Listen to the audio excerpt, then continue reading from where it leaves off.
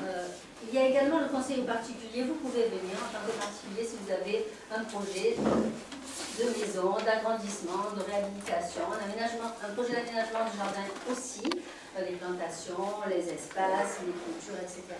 Les architectes et les paysagistes vous reçoivent gratuitement, autant de fois que vous le voulez. Vous pouvez leur poser toutes les questions en amenant des documents. Bien sûr, ce n'est pas une conférence à maîtrise, hein, mais ils ne vous feront pas un plan, un dessin pointu, poussé, mais en tout cas, vous donneront des orientations très importantes en matière euh, d'aménagement, d'habitat et euh, de, profiter de vos jardins, de vos espaces extérieurs. Et puis il y a toute cette part de, sensibilisation à laquelle nous sommes très attachés, que nous ne laissons pas de côté. Ça, c'est y attache plus ou moins d'importance. Mais en tout cas, euh, les conférences, les ciné-débats, les prix d'architecture, les concours photographiques, hein, auxquels notamment cette, cette formation est adossée.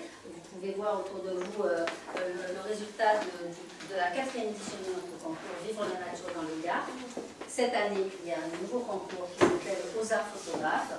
Et pour les, enseignants du Gard, cette formation, nous, la pensons également comme un accompagnement à leur projet de classe, hein, puisque le, dispositif est très simple. Hein. Les élèves doivent envoyer, euh, dans le projet de classe, il y a quatre possibilités. Chaque classe peut nous envoyer quatre photos assorti d'un titre évocateur et de quelques lignes expliquant la prise de vue, euh, sur ce thème-là, cette année, des arts. Ma collègue Célestine tout à l'heure va, donner des exemples. Et moi, je vais commencer justement pour, euh, permettre par une présentation qui est déjà un retour d'expérience et qui permet de relier art, architecture et patrimoine. C'est un document qui vous sera d'ailleurs, on, l'a mis sur la table, vous pouvez vous le procurer tout de suite. Mais là, je vais vous le présenter parce que c'est d'une certaine manière transposable, c'était avec des CM1, CM2, mais tout à fait transposable à des collégiens et à des lycéens, parce que justement, c'était découvrir le centre ancien, euh, je dirais aussi banal, mais c'est pas, pas aussi banal soit-il, en marchant pour des élèves. Donc voilà, je vais vous présenter en essayant de respecter le timing. Euh, donc là, c'était une collectivité, donc Saint-Jean-du-Pin, dans les Cévennes, qui souhaitait commencer à sensibiliser les jeunes habitants, c'était une nouvelle équipe, autour de projets les concernant. Et euh, l'adjointe à l'environnement nous avait demandé d'intéresser avant toute chose euh, les écoliers à leur cadre de vie. Aujourd'hui, ils, ils, font le réaménagement de leur école et, et, ils ont impliqué également les projets, on les accompagne pour ça, pour avoir l'avis des élèves dans, ces projets nous leur avons proposé donc en septembre 2021 une balade euh, à la veille des journées du patrimoine. Et la difficulté était justement que si euh, la commune euh, que si la commune est très riche en termes de patrimoine sur ses hauteurs notamment, dans le centre ancien, finalement, il n'y avait pas grand-chose et c'était ça qui était important. Il fallait, au gré de cette balade, intéresser les, jeunes à ce qu'ils avaient quotidiennement sous leurs yeux. Donc à chaque étape de ce document, euh, parce que le document a permis de guider la visite, euh, d'être un support pour l'élève et de le garder actif puisque nous avions euh, prévu des petites questions et on leur demandait sur certains sujets d'exprimer son point de vue. Donc, lors d'une rencontre préalable, l'enseignante nous avait demandé de présenter nos circuits et ses points d'étape. Donc, Thierry avait fait un petit circuit, comme ça il l'avait sous les yeux. Et, et ce point de départ choisi pour la balade, c'était un lieu qui permettait aux élèves de s'asseoir, de recueillir ce carnet support et de nous présenter en, disant qu'est-ce que l'architecture. On trouve que c'était un point important ça. Qu'est-ce que l'architecture? Évidemment, les réponses, elles sont multiples. Elles sont, aussi, l'architecture, c'est tout ce qui nous entoure, tout ce qui est construit. Voilà, on essaie d'aller un peu plus loin et pour ça, nous leur proposons en général les trois critères de la définition de Vitrus, donc architecte romain, au 1er siècle avant Jésus-Christ, avant Jésus-Christ avait écrit son traité, traité d'architecture, qui dit, euh, je cite, qu'il faut prendre garde dans tout édifice que la solidité, l'utilité et la beauté s'y rencontrent. Alors, il y a euh, un livre qui est très important, peut-être vous le connaissez, qui est très bien pour les, jeunes aussi, c'est celui de Michel Ragon, qui reprend un peu cette définition de Vitrus en l'adaptant aux élèves, et qui s'appelle euh, Qu'est-ce que l'architecture? Je l'ai égaré, se trouve, je, le cherche depuis l'année dernière, j'ai bon espoir, mais euh, je l'avais. Donc, on, fait pour expliquer ce qu'est l'architecture, donc on trois, ces trois points. Par l'utile, le fonctionnel, on explique que l'architecture, ben, ce n'est pas le décor, parce que souvent les, enfants nous disent, nous parlent de décor quand on leur dit qu'est-ce que l'architecture. Donc on leur dit oui, mais ce n'est pas ajouter des éléments pour faire joli, mais il faut faire attention euh, de préserver, pour, pour arriver à l'époque actuelle, de préserver la place dans une maison, de ne pas perdre trop de place dans les couloirs, pour en avoir plus dans les pièces à vivre, et, voilà, et du coup pour être mieux. D'architecture, il y a également art, et l'art c'est ce qui permet euh, de donner eh de la beauté aux choses. Et là également, excusez-moi, j'ai un petit problème avec ce,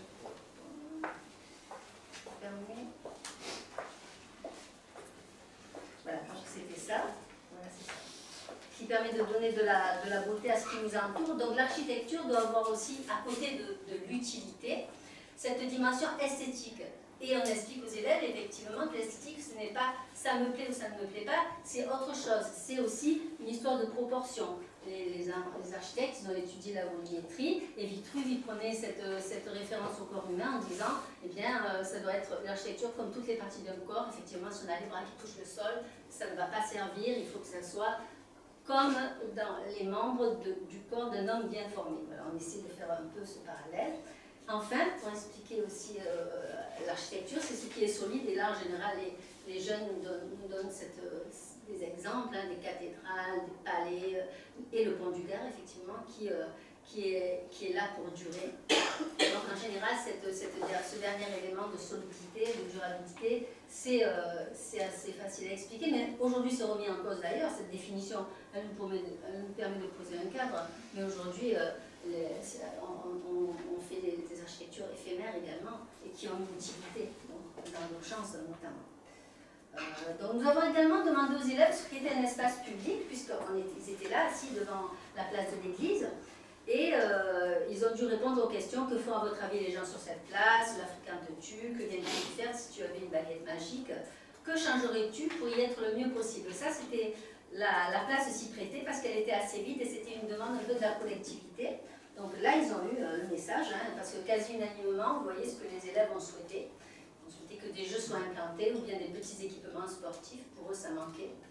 Les deux ont été rassemblés dans ce graphique hein, et c'était effectivement un message. Alors après, nous sommes retournés en classe quelques semaines plus tard pour leur rendre compte hein, de, cette, de, cette, enquête, euh, parce que comme tout le public, s'ils répondent à des questions, euh, la moindre des choses, c'est qu'ils aient un retour. Donc on l'a fait, je vous en reparlerai tout à l'heure. Et donc là, c'est un petit raccourci, parce que la, la, balade se clôturait par la, la, la, place de la mairie. Et c'est très important de. Enfin, nous, on trouve c'est important de faire comparer. On le fait avec justement des, jeunes plus, âgés, euh, des lycéens ou même des gens à la fac. Leur faire comparer des places, ça, c'est effectivement, ça donne une, des éléments intéressants. Parce que la place de la, de la mairie, en l'occurrence, a été tout à fait différente. Elle était déjà très aménagée. Euh, euh, et donc là, ça nous permet de, montrer tous les éléments qui favorisent l'accueil des bancs. Hein. Un banc, ben, c'est pas, on ne dispose pas de manière comme au 19e siècle avec 50 mètres d'écart en, randonnant, mais c'est important de mettre les, des fois des bancs face à face, des fois des bancs un petit peu tout seuls, mais c'est important aussi qu'on puisse poser un sac, ses pieds s'allonger. Enfin, il y, a, tous ces éléments-là qui nous permettent il y a le rôle de la végétation, euh, et puis il y a aussi euh, l'eau parfois, euh, le bruit de l'eau qui donne une ambiance particulière. Alors voilà, la comparaison, c'était juste pour vous dire que, que la comparaison de l'espace public est efficace. Donc après l'observation de la place de l'église, donc l'étape deuxièmement, c'était d'amener les élèves face à cette église, une église du 19e de style roman, inspirée d'architecture médiévale, donc avec son arc en plein c'était l'occasion de leur demander s'ils étaient déjà entrés dans une église. Là, on revient à, un indicateur essentiel de l'architecture. Est-ce que vous êtes déjà entré dans une église? À ce moment-là, qu'est-ce que vous ressentez? C'est sûr que quand on rentre dans une église, on ressent quelque chose. Même si l'église est très grande, même s'il y a beaucoup de monde, ça nous permet de nous, de nous recueillir. Et ça, c'est important. Le volume n'entrave à rien l'émotion que l'on ressent. Donc, c'était ça. Et ce dernier élément euh, de l'émotion ressentie, ça nous permet de, faire la différence entre qu'est-ce qui est de l'architecture et qu'est-ce qui est pas. Voilà. Donc c'est assez important, on, joue pas mal là-dessus pour essayer un peu. Et puis c'est aussi pour une école, c'est la même chose. Pourquoi on se sent bien dans une école? Pourquoi il y a des choses qui nous gênent? Pourquoi euh, Et puis euh, voilà, dernièrement on m'a dit que quelqu'un m'a dit qu'il n'y arrivait pas à rentrer dans le cinéma derrière la gare parce que chaque fois qu'elle rentrait dans ce cinéma, elle était angoissée, elle sentait qu'il allait se passer quelque chose. et pour dire que c'est personnel aussi, il y a quand même des critères objectifs. Donc, vous trouverez dans le livret des références à cette architecture médiévale, hein, les ah là j'oublie quelque chose. Alors, oui, non, je vous ai parlé, effectivement, on avait parlé de, l'architecture romane, et vous trouverez dans le livret effectivement des références à euh, cette architecture médiévale, les éléments concernant les raisons pourquoi on a fait beaucoup d'églises aussi euh, à l'époque moyenâgeuse, ben, parce que euh, voilà, il y a eu le de la religion chrétienne par les, par Romains avant. Et les grandes étapes de la construction de Mercantin Sainte sont présentées dans le livret.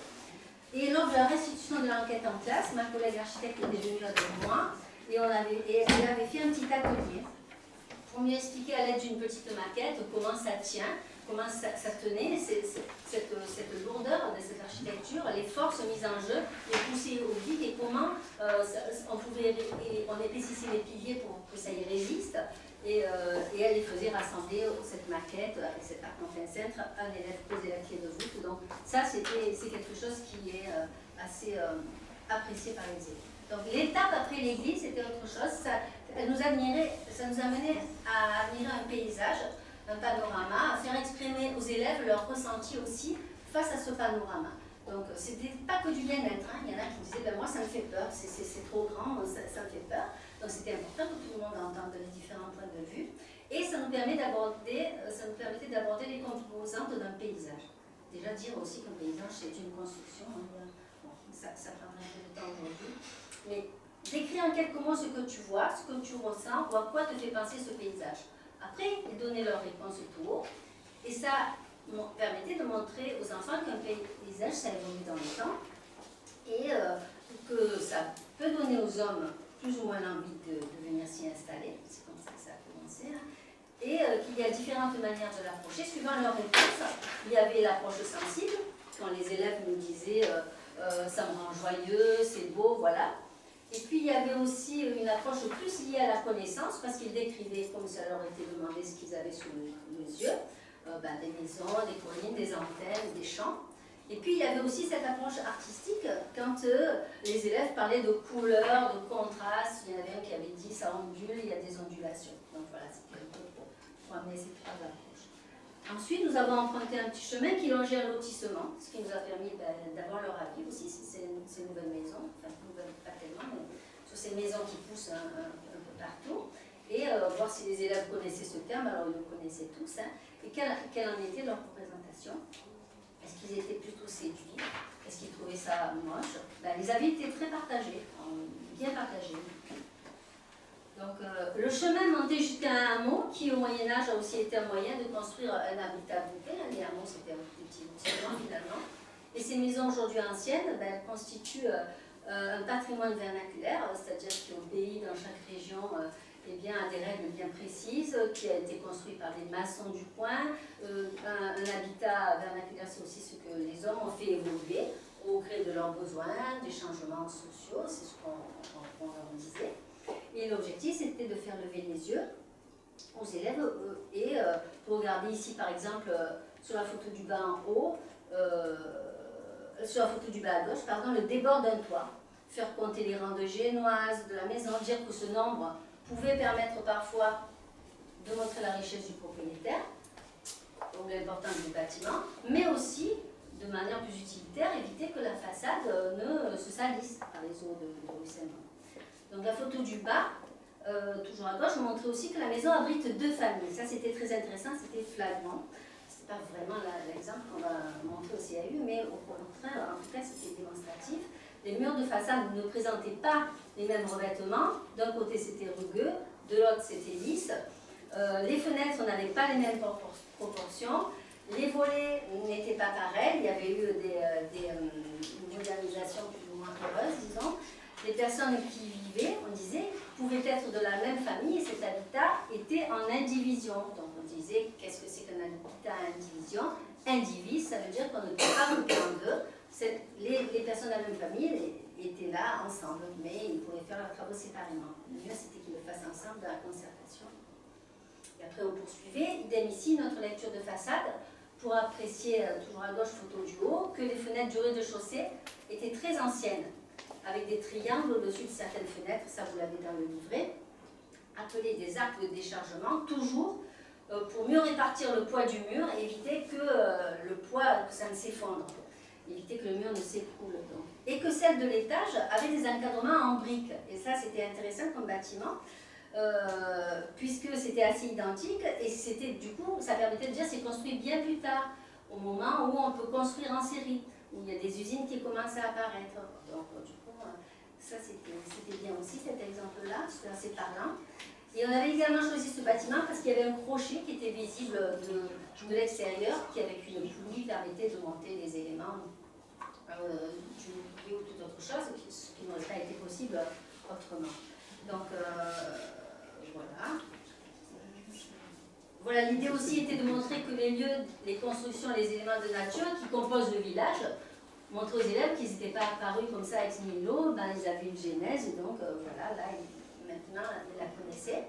Nous avons aussi insisté sur le fait que l'art dans la ville, ce n'est pas que de l'architecture ou du décor, mais cela peut être des danses, des, des fanfares, des carnavals, qui au-delà du simple regard permettent de générer du lien, entre les hommes, hein, participer de fêtes, etc. mieux on connaît son village, finalement, plus on a euh, envie d'y participer. Là, des études euh, le montrent, sciences sociales. Et temps de fête permettent d'investir des lieux, de produire des nouvelles choses, car l'art dans la ville, c'est aussi un moyen de réinventer le cadre de vie, hein, comme, euh, comme va le montrer ma collègue Célestine à présent. À la fin sur des.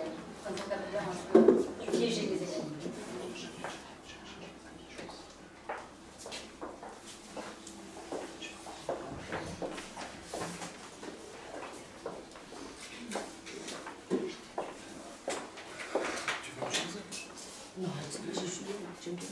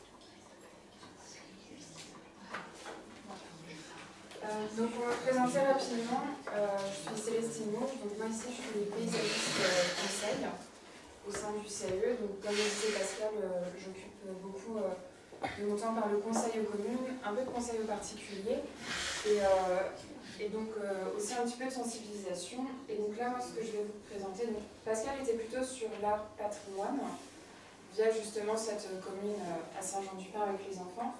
Moi je vais plutôt axer mon discours sur euh, l'art artiste, du coup plutôt œuvre d'art, et euh, en fait où est-ce qu'on peut retrouver ces arts dans l'espace public? Tout d'abord, pour rappel, l'espace public, c'est vraiment un lieu d'action, c'est un lieu qui, comme son nom l'indique, public, donc on se rencontre. C'est un espace qui à la fois n'appartient à personne, mais dans lequel on peut agir et finalement, c'est le lieu aussi de la visibilité, du rapport à l'autre, puisqu'on se rencontre. C'est un lieu de pluralité des regards et des perceptions, puisqu'on est beaucoup à interagir dans cet espace public. Et euh, finalement, cet espace qui est aussi l'espace du quotidien, puisqu'on le parcourt, euh, on y fait beaucoup de choses, il y a de nombreux usages, euh, parfois on ne fait que le traverser, parfois on s'y arrête, on s'y retrouve, on a quelques manifestations c'est finalement un lieu qui va être un, nouveau terrain pour les installations artistiques, puisque justement, il regroupe beaucoup d'éléments, beaucoup de personnes, et donc laisse place à l'imagination.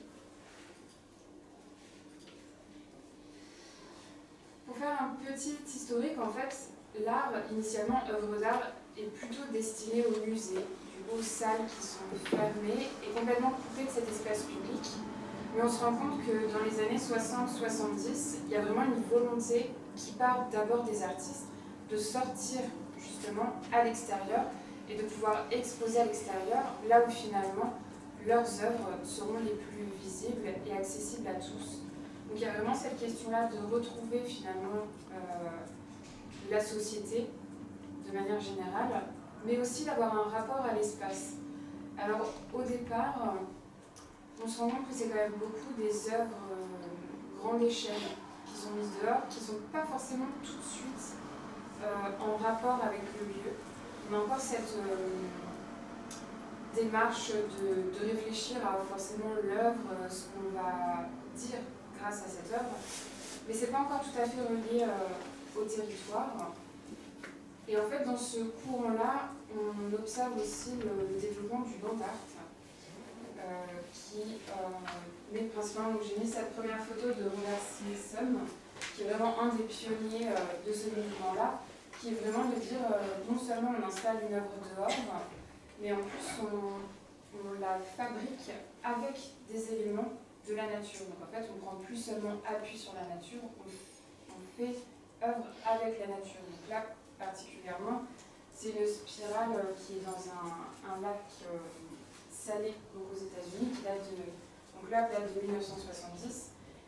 Et ce qui est intéressant en plus avec le mandat, c'est qu'on a une, euh, une première notion d'éphémère aussi, ou en tout cas de changement. C'est-à-dire que comme ça se passe à l'extérieur, il y a aussi beaucoup de d'éléments euh, extérieurs qui vont agir sur cette œuvre et donc on aura vraiment quelque chose de changeant au, au fur et à mesure, voire parfois de la disparition finalement. C'est vrai qu'on n'a pas euh, d'action pérenne sur ce genre d'œuvre. Ensuite, ce qui se développe aussi beaucoup dans les années 70 et qui va quand même avoir un impact très important, c'est le 1% artistique. Alors c'est euh, un programme qui date des années 1950 après-guerre, qui avait vraiment volonté euh, d'associer les artistes à des commandes publiques. C'est-à-dire qu'en fait, le 1% artistique, c'était 1% du budget pour la construction. Donc c'était relié en fait aux bâtiments qui étaient plutôt publics, type euh, école, euh, bâtiments publics divers. Et en fait, ça a été très intensifié au moment où on a eu la construction des villes nouvelles. Puisque les villes nouvelles, c'était vraiment des villes qu'on se construisait presque de, de, zéro, et donc beaucoup de bâtiments publics, et donc beaucoup d'œuvres associées à ces projets-là. D'ailleurs, j'ai mis une, une, photo au-dessus, qui est peut-être un peu petite, mais qui est faite, euh, en fait, c'est une œuvre d'une artiste qui s'appelle Andrea Blom, qui s'appelle Adolescent Playground. Et en fait, c'était donc associé à un collège. Et elle, elle a créé une œuvre qui du coup est un prémisse de ce que je vais vous expliquer après, c'est que euh, elle va détourner le mobilier urbain et donc créer des plateformes sur lesquelles les euh, adolescents vont pouvoir euh, s'asseoir, mais vont pouvoir aussi s'allonger, vont pouvoir manger, jouer.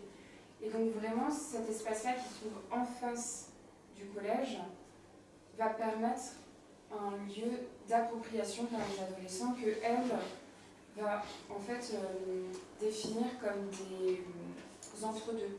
C'est plus des enfants, c'est plus des adultes.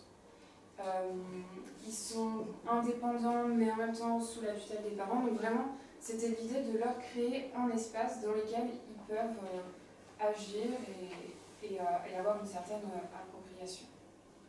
D'ailleurs, c'est une œuvre qui date de, de 1998 elle reproduit ce, mode et ce type de structure dans d'autres espaces. Euh, aux États-Unis, euh, à la Biennale de Venise, également dans une université à, Paris. Et donc à chaque fois, ça s'adapte au lieu. Pour continuer la chronologie, donc dans les années 80-90, euh, finalement, on a un peu un, retour sur ce 1% artistique. On se rend compte que c'est intéressant, que c'est valorisant. Et donc finalement, euh, le 1% artistique qui est plutôt la relation œuvre-architecture, donc œuvre-bâtiment, en fait, il va vraiment s'étendre à la relation art-urbanisme. On va vraiment avoir, euh, je pense que le, le, projet le plus marquant, c'est l'axe majeur à Cergy-Pontoise.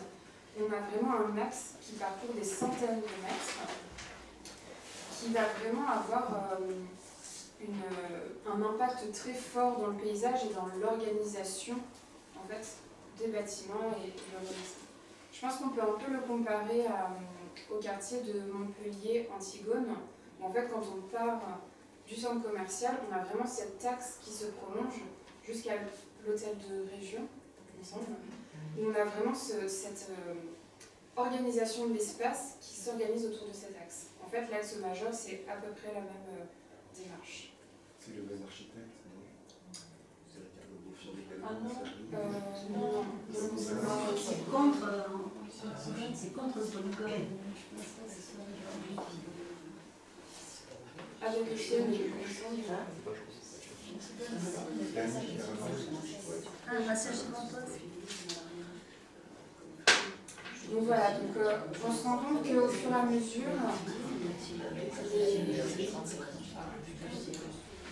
on se rend compte au fur et à mesure que les œuvres d'art, en fait, elles prennent de plus en plus d'ampleur, de plus en plus de sens, et qu'elles agissent de plus en plus dans euh, l'organisation de la ville, jusqu'au moment où, euh, alors, j'ai marqué les années 2000, mais en soi, il y, a, déjà eu des, des, choses avant, mais vraiment là, on sent que ça s'intensifie. En fait, l'artiste est maintenant même associé en fait, à la fabrique de la ville. C'est-à-dire qu'il va vraiment participer au processus de projet à différentes étapes.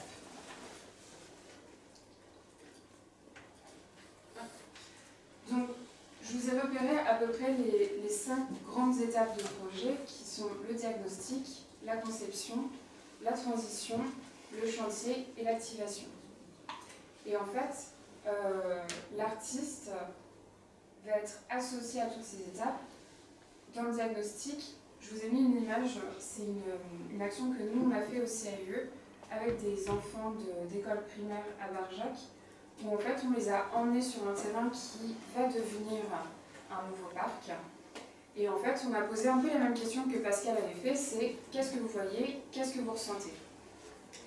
Et donc en fait ce diagnostic-là, ça a permis de... Euh, montrer ce que les enfants retenaient, ce que les enfants voyaient, et, euh, du coup finalement d'enrichir le diagnostic avec euh, un caractère sensible, c'est-à-dire euh, sensible qui fait référence au sens aussi. À la phase de la conception, là on est vraiment sur l'artiste va dessiner. Alors parfois il dessine l'espace public, parfois il dessine le mobilier, il y a eu beaucoup de, de programmes aussi euh, liés au transport public. Donc on a beaucoup, par exemple, des lignes de tramway qui sont ponctuées d'œuvres d'art. Euh, parfois, c'est même l'abribus qui est complètement dessiné par un artiste. Le plus courant, c'est aussi les aires de jeu pour enfants, où au lieu d'avoir un mobile de catalogue, on a vraiment des choses qui évoquent l'imaginaire. Je vous ai mis une photo juste après. On a la phase de transition, qui là en fait se situe entre le moment où on dessine le projet et le moment où on commence réellement la construction, qui parfois peut prendre beaucoup de temps, surtout dans les questions du bâtiment, parfois il se passe deux ou trois ans avant même la démolition du bâtiment. Donc en fait là, de plus en plus, on a des choses qui du coup seront plutôt du caractère temporaire, mais qui vont permettre justement cette petite activation on va faire généralement participer les habitants. Là, en l'occurrence, c'est un nouveau quartier qui est à Lyon, euh, autour de la gare Pardieu, où en fait, euh, des artistes et une agence d'architectes a décidé de faire du marquage au sol avec les habitants pour créer en fait un parcours, puisqu'à côté il y a des écoles, euh, il y a la bibliothèque, il y a la gare, donc on aura vraiment quelque chose de ludique mais qui sera temporaire, mais qui permet déjà d'appréhender le lieu d'une nouvelle manière. C'est ce qu'on retrouve un petit peu au niveau de la phase 4 de chantier, où là en fait on a une station, euh, enfin un, un, petit espace qui est dédié à l'information. En fait, juste derrière, c'est euh, le terrain vague où va être construit un nouveau quartier. Et donc en fait, comme à l'image de c'est Daniel Durem qui avait commencé à faire ça, à créer en fait des palissades de chantier ouvertes, il y avait des petites fenêtres, ce qui permettait justement de voir en fait l'avancement du chantier, puisque généralement c'est typiquement cette phase où euh, en tant qu'usager, en tant qu'habitant, il ne se passe absolument rien pour en fait. Souvent c'est tout le temps fermé, clos, on n'a pas trop idée de ce qui s'y passe. Donc Buren, il a dit, bah, moi je, fais des ouvertures pour qu'on puisse voir. Et donc là, le but c'était vraiment d'expliquer ce qui allait s'y passer de manière artistique et ludique, puisque euh, le sol est complètement coloré et on a quelques jeux. Donc là, encore une fois, l'artiste euh, intervient et en phase d'activation. Alors j'ai pas mis de photos, puisque généralement c'est des choses... Euh, qui peuvent prendre la forme de, spectacle vivant. Puisque là, on parlait surtout d'œuvres euh, objets, d'œuvres euh, euh, en dur, mais c'est aussi l'art vivant qui peut faire vivre et activer un lieu. Activer, c'est dans le sens où, une fois que le projet est fait, c'est un peu comme le, jour de l'inauguration, il va inviter les gens à pratiquer ce nouveau lieu qui vient d'être aménagé ça va être une balade théâtralisée. C'est généralement le, le, meilleur exemple. Et du coup, c'est des choses qui vraiment prennent place dans l'espace public. Et donc, après toute cette, histoire et, euh, et, explication sur euh, l'art, l'artiste dans le projet voix, en fait, on se rend compte que finalement, le rôle de l'art et de l'artiste est très intéressant dans l'espace public, puisqu'il va avoir... Alors c'est pas le seul à agir dessus et à créer de l'imaginaire, mais c'est peut-être euh, le plus intéressé, le plus euh, euh, à même finalement de, à partir d'un lieu, créer un imaginaire, créer de nouvelles images, un nouveau regard sur l'espace public un espace public, comme je disais au début, du quotidien, où parfois on a un peu tendance à oublier ce qui s'y passe. Et donc, l'artiste, lui, il va réussir à créer en fait des ruptures, justement, avec ce, cet espace-là. Et euh, une petite citation de Pascal Lebrun qui disait passer de l'ultraordinaire à l'extraordinaire. C'est-à-dire que euh, à partir de, parfois de, de marquage au sol ou d'éléments qui va signifier un espace euh, où on peut s'asseoir. Euh, ici, c'est un exemple que j'aime beaucoup qui est à Barcelone. Alors, c'est beaucoup de grandes villes, mais c'est des choses qui peuvent se reproduire dans de plus petites communes. Mais en fait, on a supprimé des plages de stationnement pour y installer du mobilier urbain pour les piétons, et finalement, ça devient un espace de rencontre avec du marquage au sol à la peinture qui peut être fait euh, de manière euh, collaborative avec les habitants. Euh, la dernière photo, c'est vraiment orienter le regard, donner à voir ou resignifier, puisque parfois on a tendance à plutôt regarder ses pieds. Là, c'est vraiment de, montrer, donc c'est du sang, ils ont un parcours artistique. Et donc là, en fait, sur le tableau, qu'on voit peut-être pas très bien, en fait, l'artiste a redessiné Lucin et notamment le clocher euh, du château qui est ici. Et donc là, tout de suite, on a vraiment une, une correspondance entre les deux et on va regarder euh, ce qui se passe, on va lever les yeux finalement. Euh, en termes d'espace public, c'est vrai que ce qui est intéressant à regarder dans les œuvres d'art, c'est que au début, là, c'est souvent le statuaire, l'hommage, et donc on a souvent des statues posées sur des socles. Au fur et à mesure, ces œuvres elles sont descendues du socle pour s'intégrer pleinement dans l'espace public, jusqu'à parfois euh, se fondre totalement. On se dit que, en fait, finalement, on en vient se poser la question est-ce que c'est de l'œuvre d'art Est-ce que ça n'en est pas Parce que c'est tellement intégré que finalement, ça fait partie même de l'espace public. Donc, finalement, il y a eu un détournement de l'espace du mobilier. Donc là, par exemple, les bancs qui sont très connus euh, de GP Hain, ici à New York, ou comme je vous disais tout à l'heure, les aires de jeu, ça c'est à, à Nantes. On a vraiment des choses euh, qui finalement, euh, en créant des ruptures, en faisant appel à l'imaginaire, en orientant le regard, finalement, va nous faire avoir une nouvelle expérience de la ville et une nouvelle expérience de notre quotidien. Et ça passe aussi souvent par les projections, euh, euh, enfin les, par les éclairages. Et du coup, les projections, il y a beaucoup de, choses maintenant dans, beaucoup de, communes on projette sur les façades. Euh, je pense à, la fête des Lumières, mais euh, à Angers aussi, il y a beaucoup de choses comme ça, parfois on, projette l'histoire de la ville.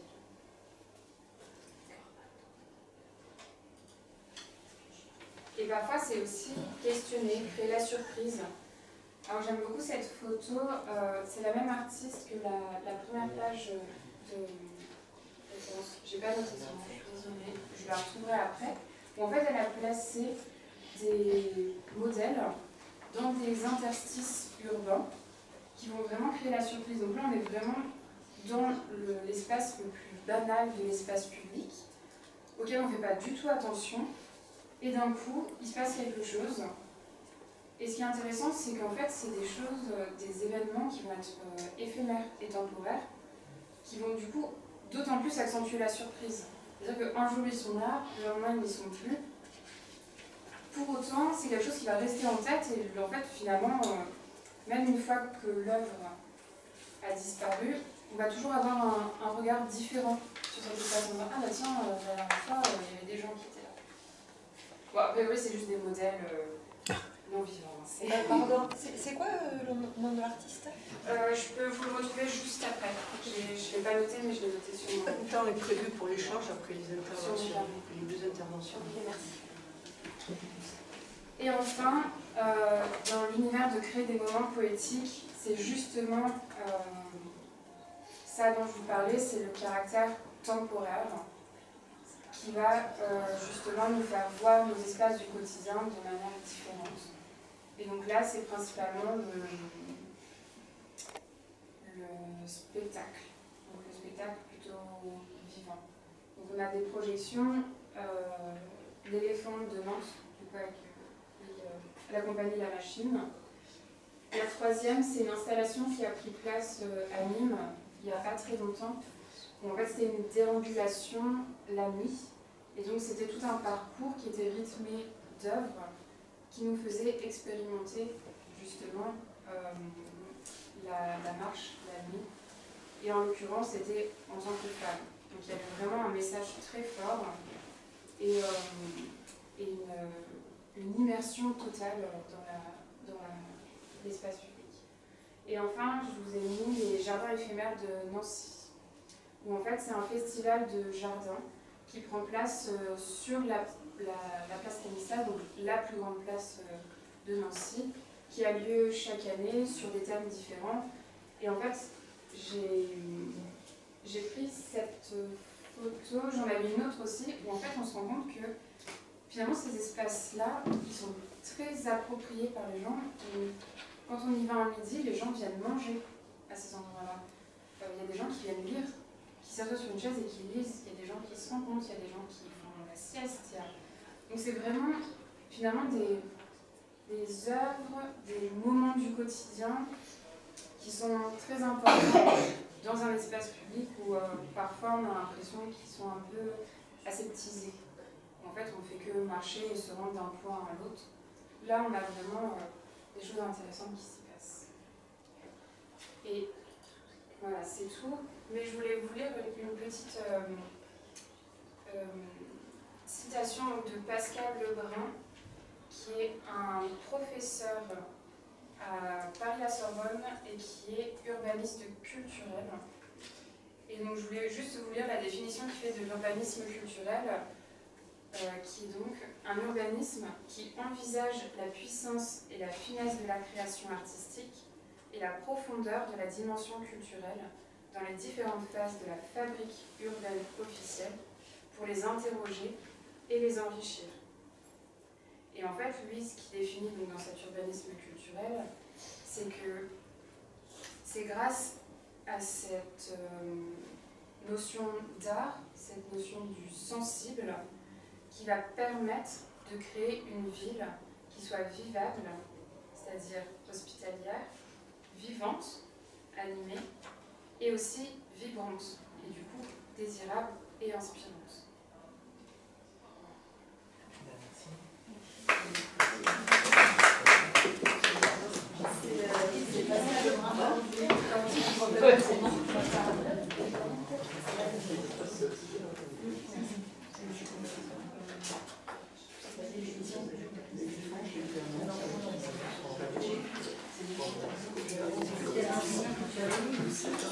Donc voilà, c'est Lucie également, parce qu'on présentait l'équipe, parce que j'étais un peu au début, qui est notre chargée de communication, qui est architecte de formation, qui, a eu euh, comme enseignant Pascal et donc Thierry Romet, qui est documentaliste et qui est euh, à la régie, qui filme, entre autres. Si vous avez des questions, euh, n'hésitez pas. Ta question sur les. Oui, c'était euh, sur la euh, Du coup, j'ai retrouvé le nom si vous voulez euh, le noter. Euh, c'est le chorégraphe qui s'appelle Willy Dormer.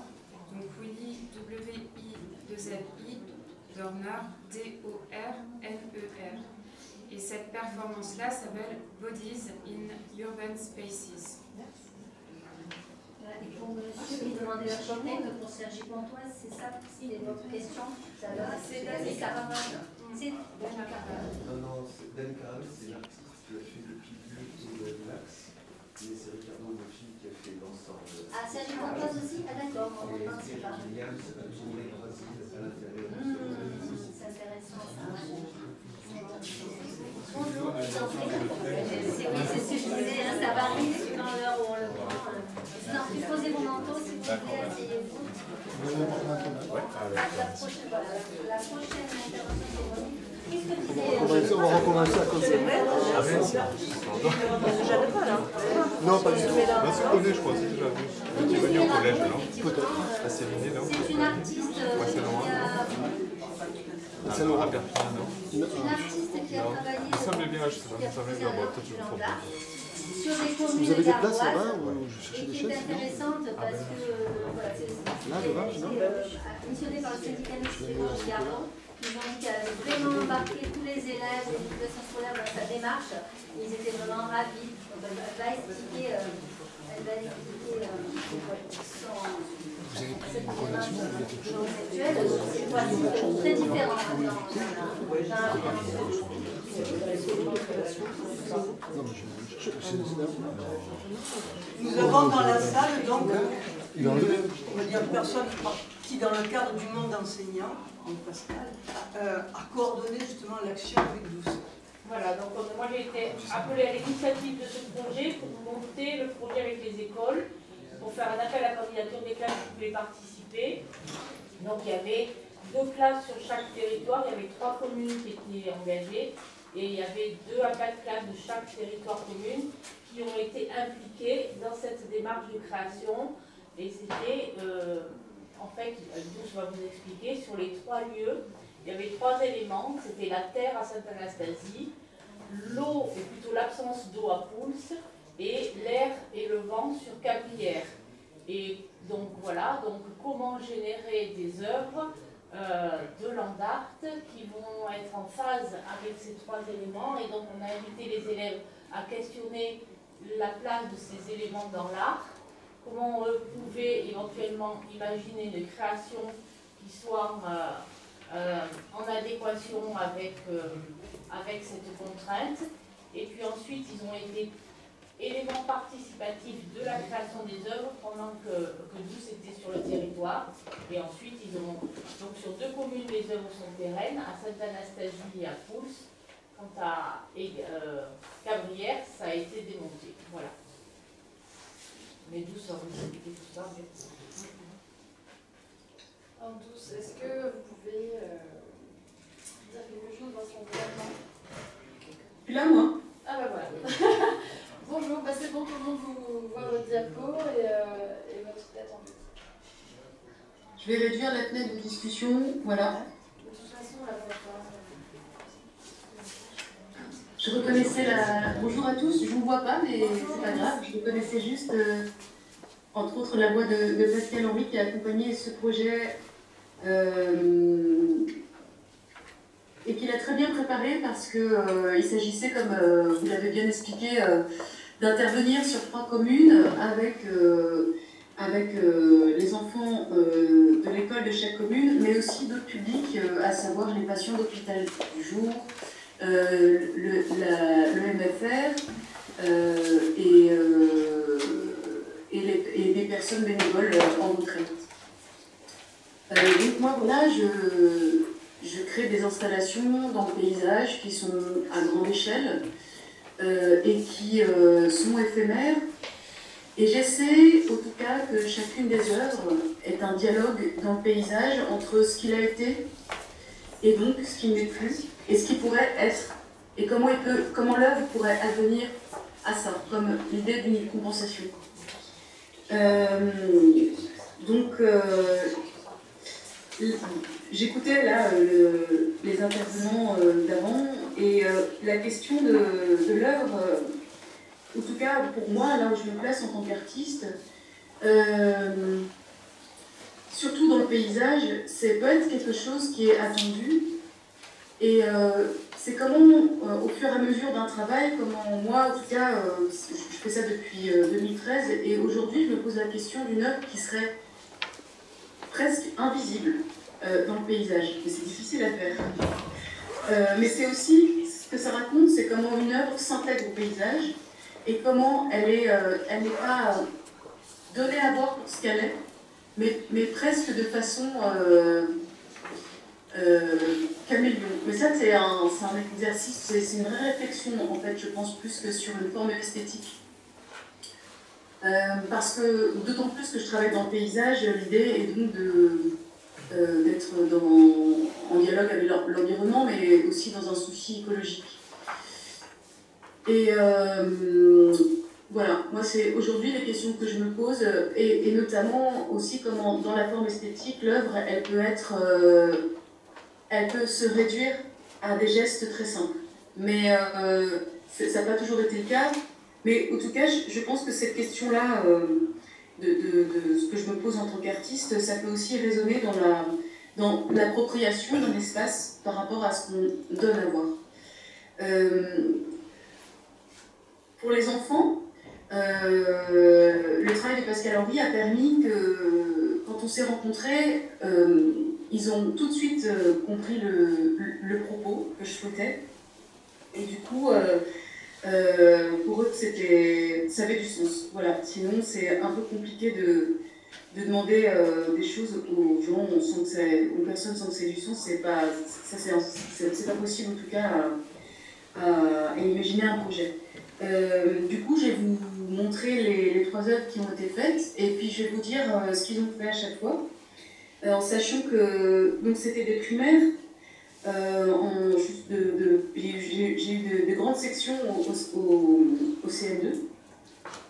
Euh, et donc l'idée c'était qu'ils puissent participer, donc ils ont participé au début du projet, parce que plus ça avance, plus les projets sont complexes, et puis il faut monter sur des échafaudages, sur des échelles, donc pour des mesures de sécurité, et je pense aussi que les tâches qui leur ont été, euh, enfin les tâches, la, la dimension participative dans laquelle euh, ils étaient, c'était pour eux euh, assez rigolo. En tout cas, j'ai le souvenir de les voir joyeux dans la campagne. Donc, là, alors, là, vous voyez un texte, c'est ça? Oui, oui. Donc, euh, ça, c'est une. Je vais vous lire le texte, puis après, on va voir, on va voir la Super Mammouth, c'est le nom de l'œuvre à, à. Euh, les dessins rupestres de la grotte Baume-la-Trône, décelés comme un labyrinthe minéral aux promeneurs, sont révélés entièrement vus du ciel. Puisque l'accès à la grotte est définitivement réservé aux chauves-souris, L'œuvre est une représentation intuitive dans la garrigue des dessins ancestraux. Euh, donc cailloux, centaines et centaines de mètres. Voilà. Alors du coup, euh, au préalable, sur le terrain qui était plein de cailloux, euh, les enfants du village et les enfants de l'école pendant les vacances ont, ont fait des tas. Des tas et des tas pour, pour qu'après, parce que ça, ça prend du temps, pour qu'après on puisse dessiner les, les dessins rupestres. Là, euh, c'est justement pendant la collecte euh, des vacances, euh, des cailloux pendant les vacances. Là, on voit quelques tas. Si je vais trop vite, vous me dites. Hein. Vous voyez ma flèche? Oui. Ok. Parce que je, je, suis pas avec, enfin, je suis avec vous en distance, donc je ne sais pas ce qui se passe mais de l'autre côté. et là, voilà, on voit. là, je pense que c'était les gens du MFR qui étaient là. Et j'ai commencé donc à tracer à la chaux tout simplement pour, euh, pour me tromper si euh, et, rectifier. Et puis ensuite, euh, on a amoncelé des cailloux. Alors l'idée n'était pas de fabriquer des murs de pierre sèche, mais d'être dans la sensibilité du matériau et regarder les pierres, les creux, les aspérités, les bosses, comment elles peuvent se combiner entre elles simplement pour pour être dans, dans l'idée d'une gravité et puis que ça tienne en fait. Euh, voilà. Ensuite, euh, donc là ça continue. Donc effectivement, euh, ce qui était rigolo sur la question de, de, la visibilité, c'est que, ce qui était rigolo, la question de la visibilité se trouve là. C'est-à-dire que ça, c'est des, nous, on est là, à hauteur de la photo, donc on ne voit pas en fait les dessins qui sont faits au sol. Donc, ce qui, ce qui, ce qui m'intéressait aussi, c'est comment lui, le spectateur, euh, euh, reste dans une forme de mystère par rapport à l'œuvre. Et comment il s'approprie cette œuvre avec l'idée, parce qu'il sait que c'est en relation avec les dessins de la grotte, mais ne sachant pas exactement la totalité de la représentation. Et donc, pour lui, pour le spectateur, c'est quoi la part de, de, de, s'approprier, d'être, euh, de, de, pouvoir comprendre, comprendre, entre guillemets, cette œuvre? Euh, et c'est surtout, du coup, ça l'amène à, à savoir, à, à tenter de... pardon, ça l'amène à ce qu'il puisse ressentir, en fait, plus l'œuvre. Euh, parce que je pense que d'être dans un Bon, ben voilà, il y a des œuvres qui sont des objets sculpturaux. Voilà, c'est un objet sculptural, on fait le tour. Voilà, c'est dans un paysage urbain ou un paysage naturel, c'est là. Et en même temps, euh, il y a plusieurs façons de faire questionner le spectateur. Parfois, si les objets sont. L'objet sculptural peut être énigmatique. Et, là, euh, il y a plusieurs euh, possibilités d'appréhension de, de, l'objet. Et parfois, on, essaie de comprendre un endroit qui, qui, qui est l'ordre de la sensation. Mais la question, c'est est-ce que. Et j'en suis sûre que ça existe, en fait, tous les cas sont possibles, mais euh, on peut aussi parler de sensation quand les choses ne sont pas données à voir totalement. Voilà. Euh, ici, donc ça continue, je vais aller assez vite. Là, c'est presque, en tout cas, c'est une partie finie. Voilà, là, on a encore les têtes aiguës, donc ça, on est encore au travail. Euh, hop, et là, donc, la photo euh, d'une partie. Ça, c'est euh, donc les panthères, on va dire, qui sont sur un terrain qui est en pente. Hein. Là, ça ne voit pas. et en dessous, c'est l'autre partie, qui sont les, mammouths. En fait, vous voyez, il y a un arbre ici, euh, et moi, j'ai apprécié de prendre en compte euh, le paysage et donc aussi euh, ceux qui habitent le paysage, pas les habitants, mais aussi la nature, et, et, que, et, que, mon œuvre puisse intégrer ça. Donc en fait, le trait du manous, je l'ai fait passer entre le tronc, enfin voilà, au pied du tronc, et en fait le tronc s'ouvrait, enfin bref, en, pour qu'elle puisse intégrer L'idée, c'est d'être au creux du paysage, même si on n'est jamais au creux des choses, mais en tout cas, euh, d'être le plus possible proche. Et voici la photo de toutes les œuvres réunies. Alors en sachant, vous voyez au tout départ dans ce projet, cette partie-là, que je montre, l'espèce de rectangle avec ma flèche, c'était boisé. et après, après l'installation des œuvres, ils l'ont coupé pour, pour, pour, pour être coupe-feu en fait. Donc, euh, si j'avais su, euh, probablement que mes œuvres auraient pris aussi cette partie-là du terrain, mais je ne le savais pas, et puis de toute façon ça s'est fait après, et puis de toute façon c'est pas grave. Mais euh, c'est aussi pour dire que, on parlait de, tout à l'heure, il me semble que c'est Pascal qui parlait de, de paysages changeants, de la nature, et ben c'est pas forcément sur la, enfin, voilà, c'est pas que la trace du temps, c'est aussi la trace de l'homme en fonction de ses besoins. Euh, voilà pour cette œuvre-là. Euh, ensuite, ah ben là, on voit d'un peu plus euh, au-dessus encore. Donc évidemment, c'est écrit par drone.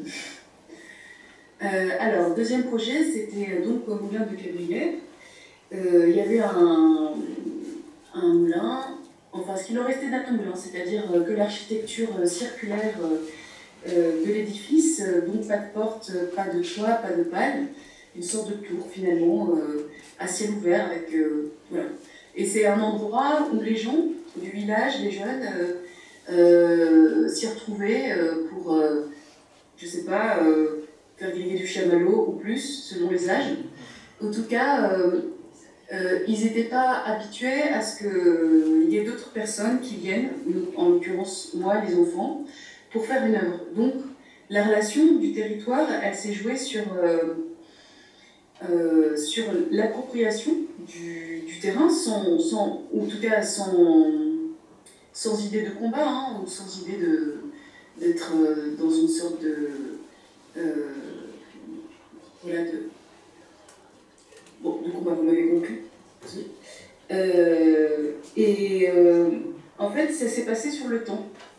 Parce que, du coup, pour revenir au projet, l'idée initiale du projet, c'était de construire des pales euh, qui prenait euh, fuite dans la garrigue, 11 pales, en, et en fait, à l'intérieur de ce moulin, euh, s'il était squatté, etc., moi je trouvais ça intéressant aussi d'y construire un banc, pour que les gens s'assoient tranquillement, et puis rendre ça accueillant, voilà, que ce soit pas que pour. ce, soit, ce soit pour tout le monde en fait, que ce soit un, un objet de, aussi on peut aussi contempler. Quoi.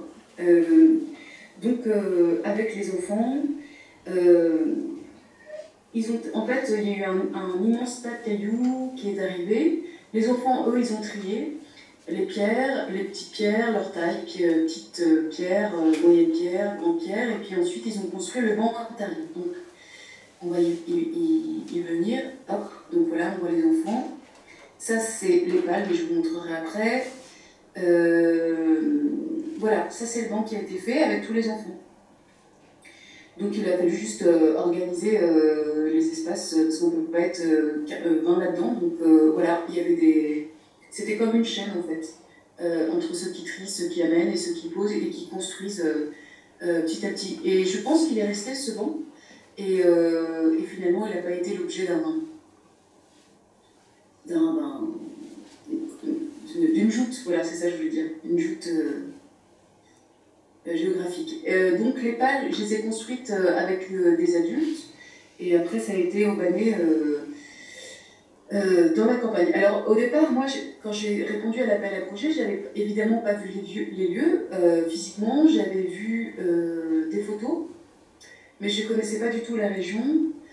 donc je, je, ne savais pas qu'il y avait du vent, un mistral qui pouvait souffler longtemps et très fort, et je savais pas peu ou prou de, que la, campagne, enfin, le, voilà, le paysage, la nature environnante, elle est hostile du fait du, du climat. Donc le, projet qui était de construire des pales et de les proposer en, ligne de fuite, euh, c'était quasiment impossible euh, parce que euh, il fallait les aubaner, comme c'était des, ça faisait à peu près 5 mètres. Donc ça demande une sorte de géométrie de point d'ancrage et en fonction des cadres et de la robustesse de, de ce qu'ils étaient, euh, voilà, je les ai remontés là-dessus, en essayant de, évidemment d'avoir mon point de vue sur l'espace. En tout cas, la ligne de fuite, c'était plus compliqué. Et puis surtout, euh, quand je suis arrivée là-bas et que j'ai vu ce vent, et ce vent, et ce vent, et ce vent qui n'arrêtait plus, je me suis dit que je n'allais pas faire des pales euh, qui ressemblaient à des pales, mais des pales décoiffées. Donc c'était ma façon pour moi d'écouter ce qui se passe sur, sur le, territoire, en tout cas comment, comment les éléments euh, euh, jouent, se jouent du paysage et comment euh, et qu'est-ce que je peux qu'est-ce que je peux en faire. Voilà, donc là on est bon. Là on voit, il y en a 11, mais là on en voit 3. puis trois autres. voilà.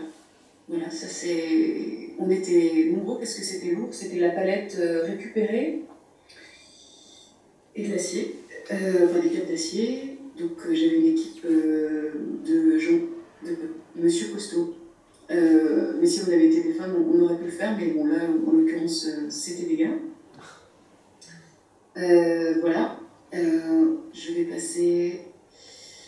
Donc ça c'est la pause. Si je vais trop vite, vous me dites, puis on pourra revenir si vous avez des questions sur euh, des œuvres. Voilà une photo plus large, on en voit un peu plus.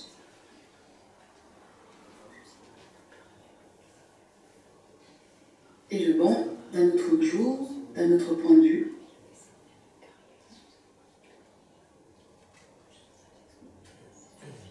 Ce qui est sûr, c'est que, en fait, au début, quand on construisait le banc, euh, il était souvent du coup détruit par, euh, les, jeunes euh, voilà, qui étaient là.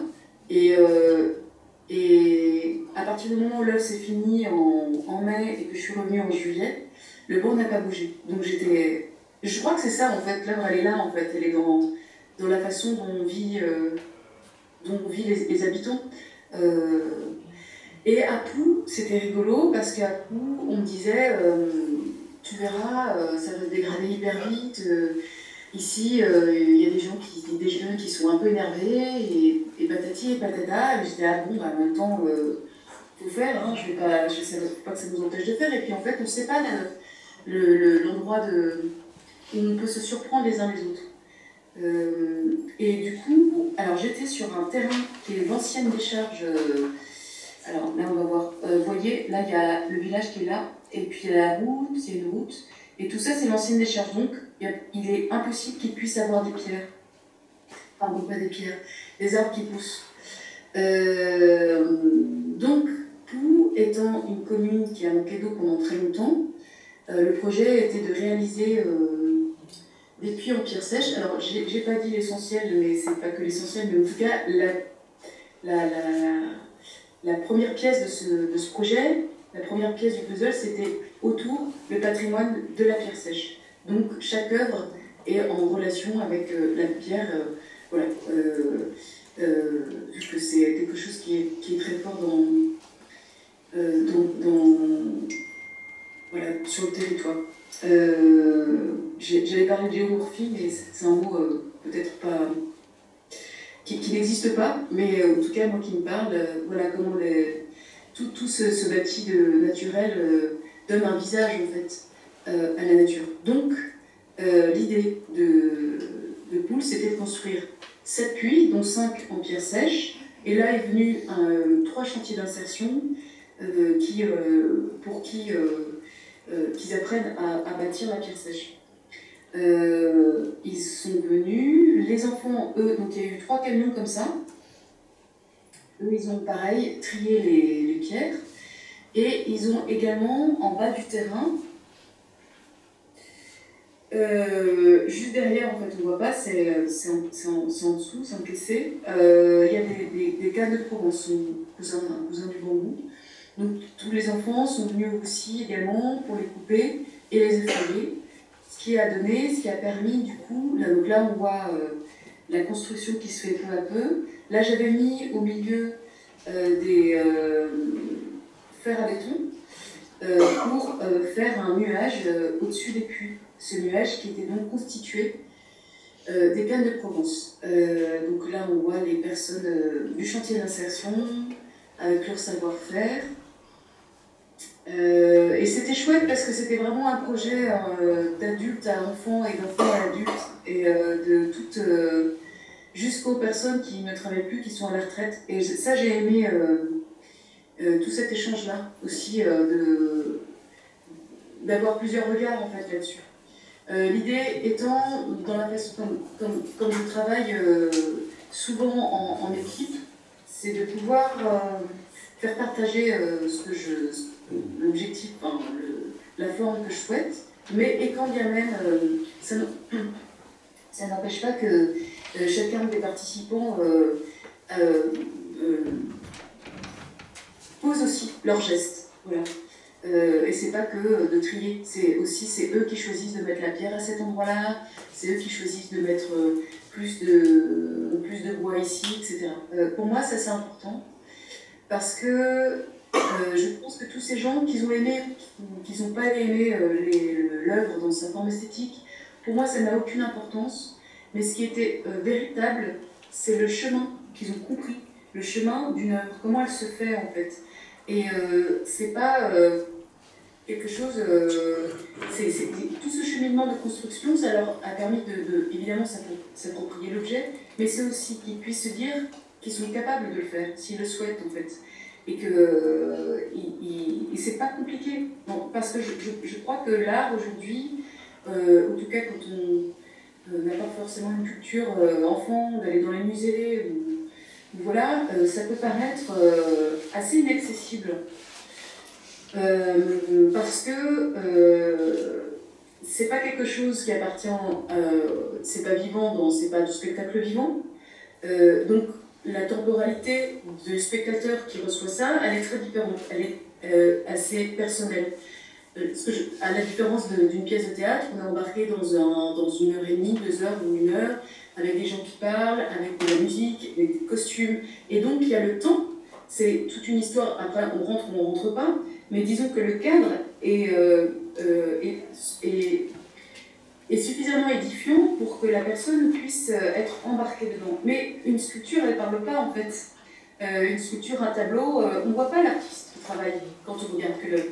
On peut imaginer, on peut voir les gestes s'ils sont donnés à voir, mais c'est pas forcément évident. Donc en fait, je trouve que le spectateur passe aux arts plastiques, il est souvent seul face à l'œuvre. Et, et, c'est pas forcément, voilà, c'est un chemin à faire. Et donc, ce que je trouve intéressant moi en en travaillant avec euh, plusieurs personnes, c'est qu'ils aient leur geste dedans. Voilà.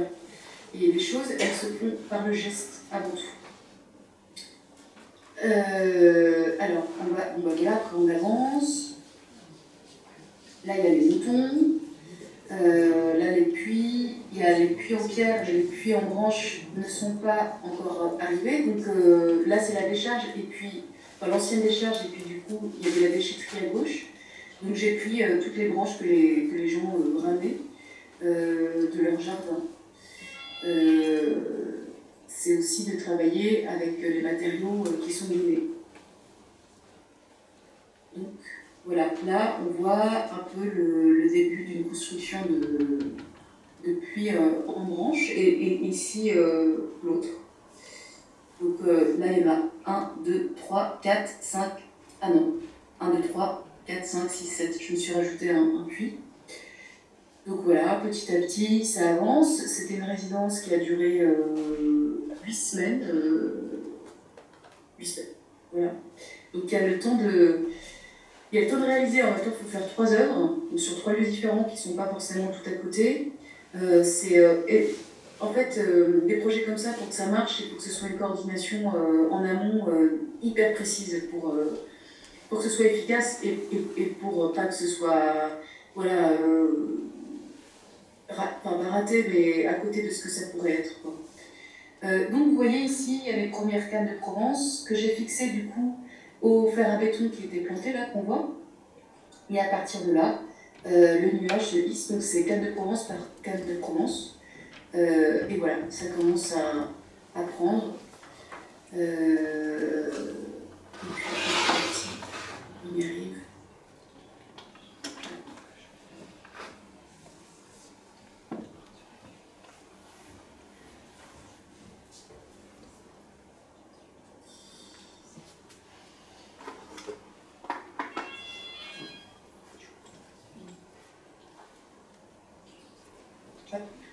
Voilà. Euh, je crois que cette œuvre, elle est encore d'ailleurs, euh, je pense, qu'elle doit être, euh, que toutes les cannes de Provence doivent être un peu par terre. L'idée, donc, au départ, c'était voilà, le projet éphémère sur un temps imparti, c'était de quelques mois, parce que ça résonnait avec un autre événement culturel qui avait lieu en automne, qui était très, très propre à chacun des, villages. et la commune de Pousse, le, père le, père, le maire, euh, m'a demandé du, coup euh, voilà, si les puits euh, pouvaient rester et auquel cas, quand la structure végétale serait, serait détruite, qu'est-ce qu'on qu'est-ce qu'on ferait de ces puits? Moi j'ai proposé en, en, miroir avec, avec la brigade de, de mettre des miroirs ronds voilà, affleurant la surface du puits. Parce que je ne sais pas si, si, vous vous souvenez, euh, à, à il n'y a pas de toit. Donc du coup, quand on s'assied, euh, quand on pouvait s'asseoir sur le banc, on avait vue sur le ciel en un rond qui est au tout début. Voilà. Donc c'était, euh, comme, comme Pouls et Cabrières sont assez proches, j'avais bien l'idée de, en fait, d'un puits de pierre sèche, et si on se penchait, c'était évidemment pas l'eau, mais en tout cas le reflet du ciel. Quoi. Donc euh, voilà, euh, pour euh, cette série d'œuvres qui ont été faites du côté de chez vous. après, et c'est aussi parce que je travaille dans le paysage, et là où j'ai voulu, et, ça a été comme une révélation l'hiver dernier, où j'ai travaillé dans le Nord-Bretagne avec un lycée d'horticulture. Euh, je, me suis dit que, que les œuvres, euh, qu'il était, euh, pour moi en tout cas là où j'en suis, que l'idée de la trace, parce que en fait, la nature sauvage, elle existe à certains endroits, mais on est quand même, elle est quand même relativement domestiquée. Je parle en France et, et pas évidemment partout, mais quand on traverse, quand on, quand on voyage en voiture, si on prend l'autoroute, euh, c'est quand même des paysages qui sont domestiqués. Et puis, voilà, moi je travaille avec, euh, avec les paysages et, je, je, crois qu'aujourd'hui la question la trace c'est très important. Et euh, c'est pas parce que je suis artiste que je dois donner à voir les œuvres et, qui, et qui aussi, même si elles dialoguent avec le territoire, elles sont peut-être presque en trop. je dis ça, c'est pas pour me faire disparaître. C'est un, vrai, un vrai questionnement. Moi, en tant qu'artiste du, du, paysage, euh, je, je, suis, je suis venue. Mais euh, ça, c'est pas venu tout de suite. C'est en, en, réalisant des œuvres et des œuvres euh, que peut-être les plus belles traces, les plus belles œuvres, c'est les, les, les, celles du sanglier ou voilà ou ou voilà, ce qui est sauvage en fait, ce qui ne nous appartient pas. Donc j'en suis là. Ça ne va pas m'empêcher de faire vos œuvres, hein, mais euh, en tout cas, il y a ça en fond euh, qui n'existait pas avant. Alors que là, je m'étais vraiment concentrée sur euh, des œuvres qui pourraient dialoguer avec, avec le, chacune de ces communes et l'histoire de la commune. ça y est, je, je pense que j'ai fait le tour. Vous avez des questions? Ça va venir, mais d'abord vous féliciter pour la qualité de votre intervention. Oui, merci.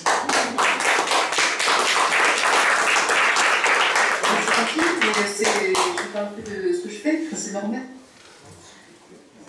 Je vous entends plus Oui, non, c'est vrai que ah c'était assez magistral et là on voit bien, c'est vrai ce que vous, tout ce que vous disiez en fait, là, que la démarche est plus intéressante que l'aboutissement, même si l'aboutissement est magnifique. Hein. Et aujourd'hui, c'est vrai qu'on revient de plus en plus à, ça, qu'on on veut d'abord beaucoup de nature, tout le monde en réclame et on, est, on en est de plus en plus éloigné. Du coup, ces démarches-là, euh, ça permet, euh, effectivement, si on fait intervenir des enfants encore plus, puisque c'est eux, l'avenir est à eux, en fait, ils peuvent transmettre, c'est des bons, des bons vecteurs de transmission. Mais c'est vrai qu'ils s'approprient de ce fait euh, cette nature en, participant aux œuvres également, c'est quelque chose qui va rester. Le regard aussi, regarder aussi, c'est garder, ça c'est un philosophe qui le disait, mais, mais c'est vrai qu'il y, a tout, il y aura, on a prévu au semestre prochain une conférence en mai justement, qui parle de cette démarche d'esthétique environnementale. C'est un courant que nous, on parle de plus en plus aujourd'hui, qui existait avant, qui était un peu iconoclaste, qui venait des États-Unis, c'était un peu la cerise sur le gâteau. Mais aujourd'hui, on y prend de plus en plus attention, on y prend de plus en plus attention, puisqu'on détruit cette nature. Et que finalement, en participant à des démarches comme celle-ci, on voit qu'on fait partie également, nous, de cette nature. Par ailleurs, c'était pour vous dire aussi qu'on propose, avec cet accompagnement de cette exposition, un petit atelier découverte pour les enseignants qui le souhaitent, d'amener vos élèves pour les collégiens ou lycéens. Et à partir de la découverte de cette, cette exposition, qui est finalement un prétexte, on fait un atelier avec les élèves qui leur permet, en, demandant quelle, quelle relation à la nature voulons-nous. Et on leur raconte effectivement que depuis le XVIIe siècle, Descartes disait ben, on veut être maître et possesseur de la nature, mais aujourd'hui on a quand même fait du chemin, que ça se retourne contre nous. Donc est-ce que, quel est, par, rapport au voyage, hein, euh, qu'est-ce qu'on recherche dans les voyages, qu'est-ce qu'on recherche dans les paysages, qu'est-ce qu'on recherche dans cette nature, et nous, notre place là, est-ce qu'il ne faudrait pas un peu inverser les choses aujourd'hui? Donc voilà, c'était juste cette exposition qui est aussi euh, possible de, de prendre, d'emprunter, et on peut venir à ce moment-là, si c'est un collège ou lycée, faire cet atelier. Voilà. Une question pratique pour nous, enseignants, justement, Pascal, comment tu fais pour choisir les classes qui ont été associées au projet? Est-ce que ce sont des classes de chacune des trois communes ou des enfants de Nîmes qui ont eu de, de la ville Alors, il y, a eu il y a eu une concertation avec la circonscription, donc on a annoncé, le projet avait été annoncé par, la, par les, en conseil d'école par les communes, donc les enseignants étaient accompagnés, donc on a, on a on, leur a annoncé qu'il y avait un quota, hein. en fait, c'était euh, parce que 12 ne pouvait pas non plus consacrer 50 euh, semaines dans l'année scolaire à, cette participation. Donc du coup, il y avait euh, donc deux classes pour le village de, de Cabrières, deux classes pour, pour le village de, de Sainte-Anastasie, et, quatre classes pour le village de Pouls, qui était plus grand, même six classes, je crois, qu'on a eu 12 classes en fait. Et on a annoncé aux, équipes qu'il y avait le, nombre de classes qui leur étaient attribuées au, au prorata du nombre d'habitants et de la taille de la commune, parce qu'il y avait aussi des enjeux politiques, il fallait que tout le monde soit, représenté euh, en bonne quantité, en bon ordre. Et donc ensuite, on a privilégié euh, les cohortes entières d'élèves. Dans nos écoles primaires, on essaie, quand il y a de belles aventures artistiques comme ça, pour faire une cohérence du parcours d'éducation artistique et culturelle, on a fait en sorte que ce soit les grandes sections, les CP et les CE1 par exemple qui vivent cette aventure, comme ça au moins cela, voilà, cela c'était fait. Et voilà, puis ceux qui n'avaient pas de projet, bah, voilà, donc c'est comme ça que les, que les, ce sont les équipes qui se sont, qui se sont identifiées et voilà, il y a eu du temps d'accompagnement bien sûr, de, et tout au long de l'année. Il y a eu aussi des choses, et je remercie encore tous, hein, parce que avec sa complicité, 12 pendant l'année, on a fait des mini captures audio et vidéo où, elle parlait aux enfants et donc il y a eu une espèce de résidence numérique aussi qui s'est superposée à cette résidence euh, euh, physique et, réelle. Et donc euh, elle a lancé des incitations de travail de recherche. Enfin, on a été vraiment complices. Je remercie 12 parce que ça a été une belle, une belle aventure de complicité pour associer vraiment les élèves à cette démarche de création. Bah, merci Pascal. Alors moi, le travail que tu as fourni, il était euh, édifiant pour, les enfants euh, quand ils arrivent, euh, ils tout compris. Et ça, c'est clair, s'il n'y avait pas eu ce travail avant, ça aurait été plus compliqué pour eux. A du sens. Donc, et, et, j'ai vraiment l'impression que c'était une grande, une grande aventure humaine comme ça sur un grand navire avec tous les corps de sociaux enfin tous, non, quelques corps sociaux qui sont intéressants à. Voilà, ça a permis de. Bah, ça c'est logique, mais un point de rencontre là où c'est pas forcément évident, quoi. Euh, donc c'est vrai que c'était avant tout une, aventure humaine assez extra, quoi. Et pour les élèves, ce que j'ai fait, c'est que je leur avais fait des photos aériennes agrandies et sur site, on arrivait avec la photo aérienne, on montrait, et donc il y a eu un rapport à cet espace, à la maquette, euh, et donc les enfants, ils étaient un peu comme des géants, ils voyaient par exemple sur le... Et les grandes sections maternelles étaient capables, sur l'immense terrain de pouce, de se repérer avec le chemin, ah mais je suis là, effectivement, et si j'étais un oiseau, je verrais comme ça, et les puits qui sont... quand on demandait de poser des cailloux à l'endroit où étaient les puits, et ils se repéraient complètement, mais et on avait des photos aériennes en format A3 des, des terrains et des œuvres en train de se faire, et on les a amenés physiquement sur le terrain, et, et du coup c'était vraiment euh, lisible pour eux, et vraiment ils comprenaient. Vous avez une question oui, J'ai une question pour l'artiste concernant le projet à Sainte-Anastasie. Donc euh, j'ai découvert grâce à vous qu'il y a des, des peintures rupestres avec euh, des représentations de mammouths. Et à côté, vous avez fait, euh, je crois, des léopards. Est-ce qu'ils sont dans la grotte? Oui. Oui. D'accord. Et ils sont à peu près fidèles Parce qu'ils sont, je les trouve très modernes, on va dire. Euh, non, alors à peu près fidèles, on va dire ça. Le à peu près, euh, c'est approximatif. L'idée, je pouvais pas.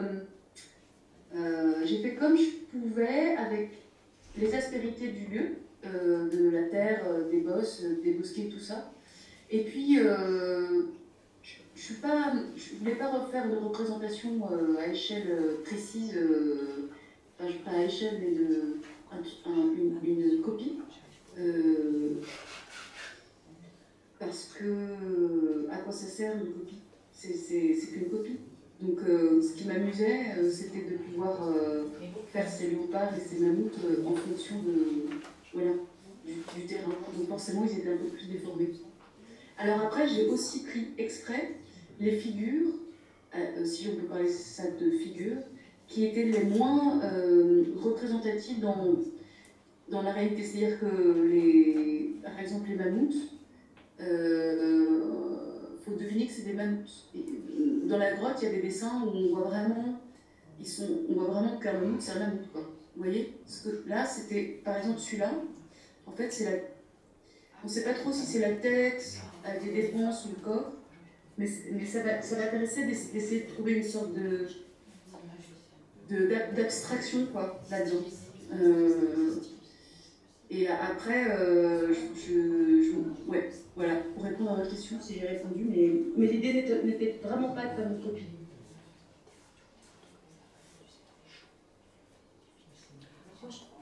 Une autre question, oui. Oui, moi j'avais une question, euh, je me suis absentée quelques minutes, alors ça a peut-être été évoqué, mais euh, au niveau pratique, euh, comment ça s'est fait en fait? Comment le repérage au sol, vous l'avez fait? Comment, comment passer de la vue d'ensemble aérienne au tracé au sol, sur le sol? Ben, C'est l'intuition. Donc il y avait la notion de l'approximation. La notion de quoi? Bah, D'approximation. Ouais, c'est ça. Euh... Mais tu avais un dessin préparatoire quand même, douce, que tu suivais.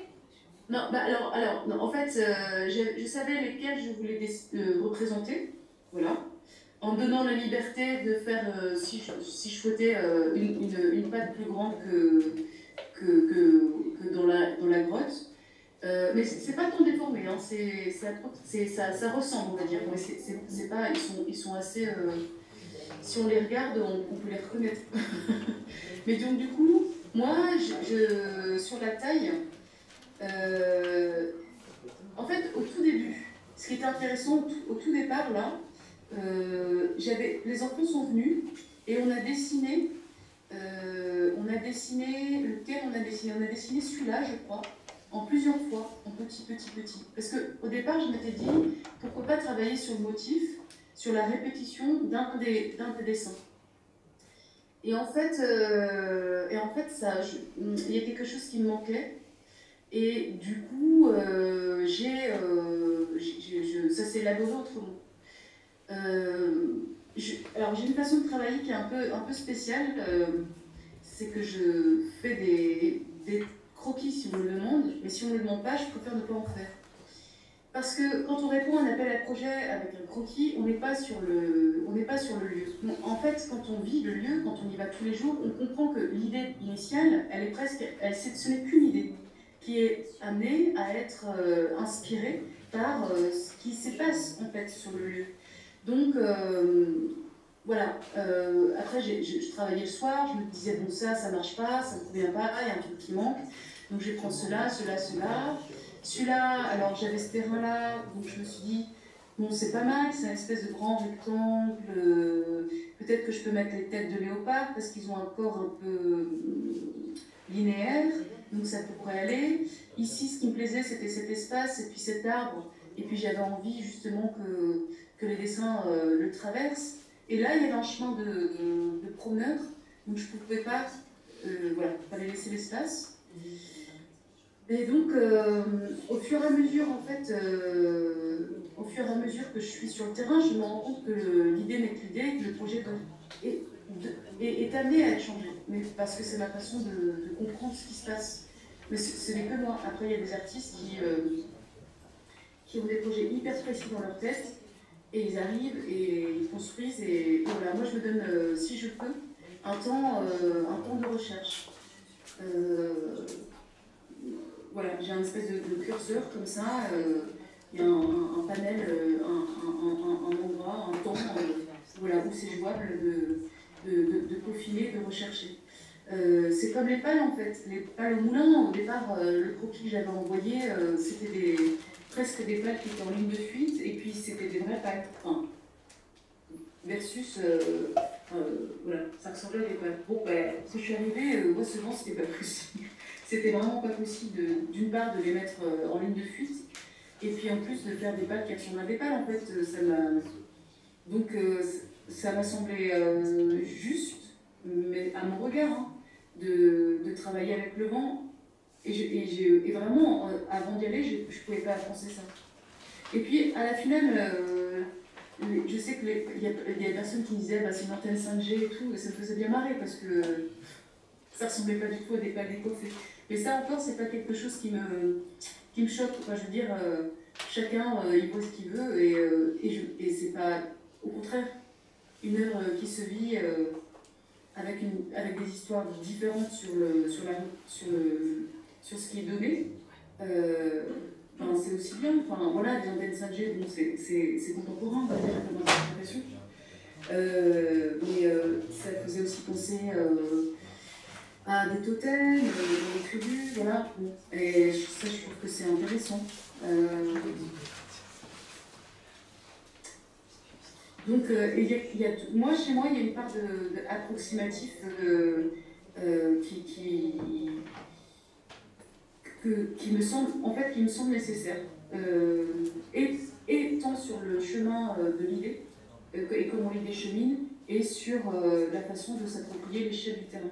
Bah là, c'est des glyphosols, donc c'est plus... Mais bon, on a quand même une idée. En fait, j'ai déjà fait des œuvres... j'ai réalisé deux ou trois œuvres, je crois, au, sol, qui ont été prises par drone, donc je- je peux avoir, euh, je peux avoir euh, comme ça, ressentir un peu, un peu plus, mais bon, c'est un peu. C'est pas du pifomètre, c'est de se dire. euh, je, je sais pas, il y a une part de soi que. je- Il y a une part de moi que.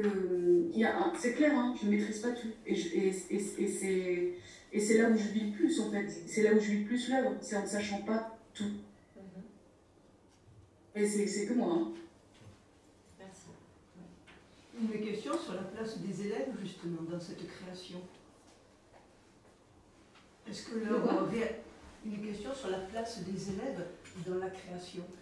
Hum, On a expliqué, vous avez expliqué tout à l'heure donc le travail d'observation sur les pierres, etc.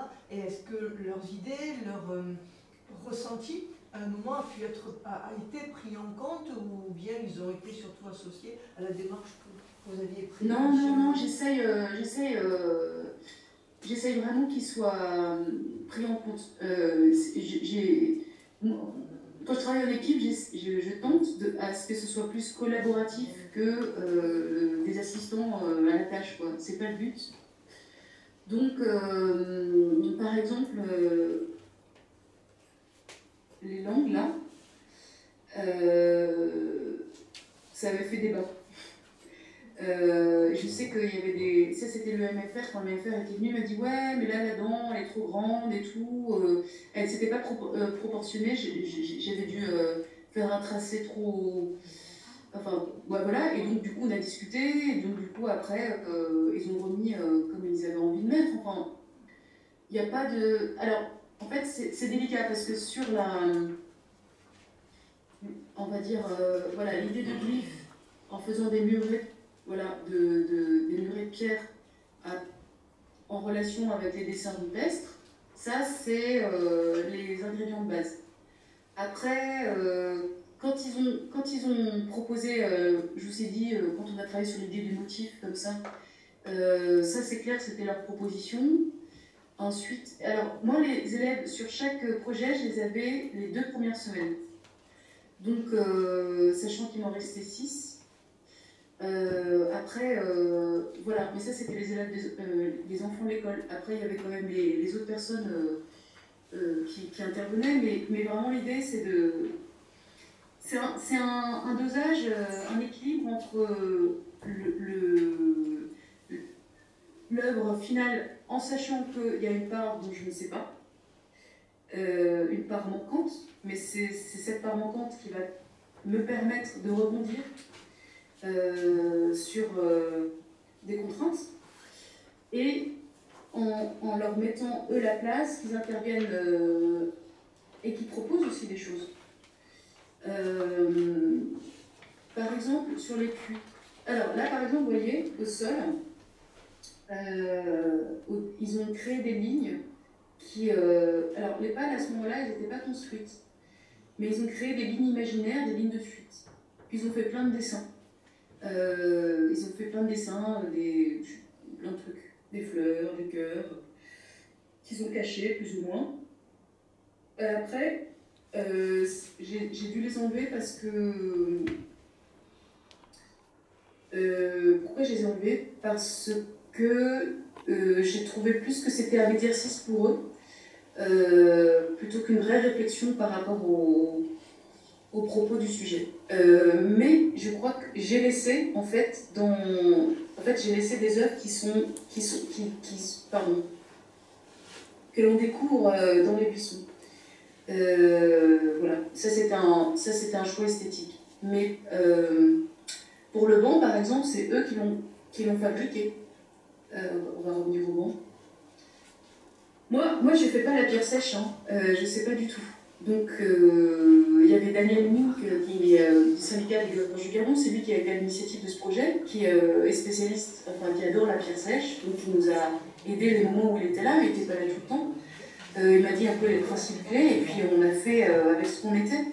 Mais j'avais. Donc voilà, ça c'est un banc, ils ont tous construit le banc, et, et, même si c'est. Pour moi, c'est très esthétique ça. Il n'y a pas besoin de, de pendant rose ce banc en fait. Il, se suffit, en fait, il se suffit.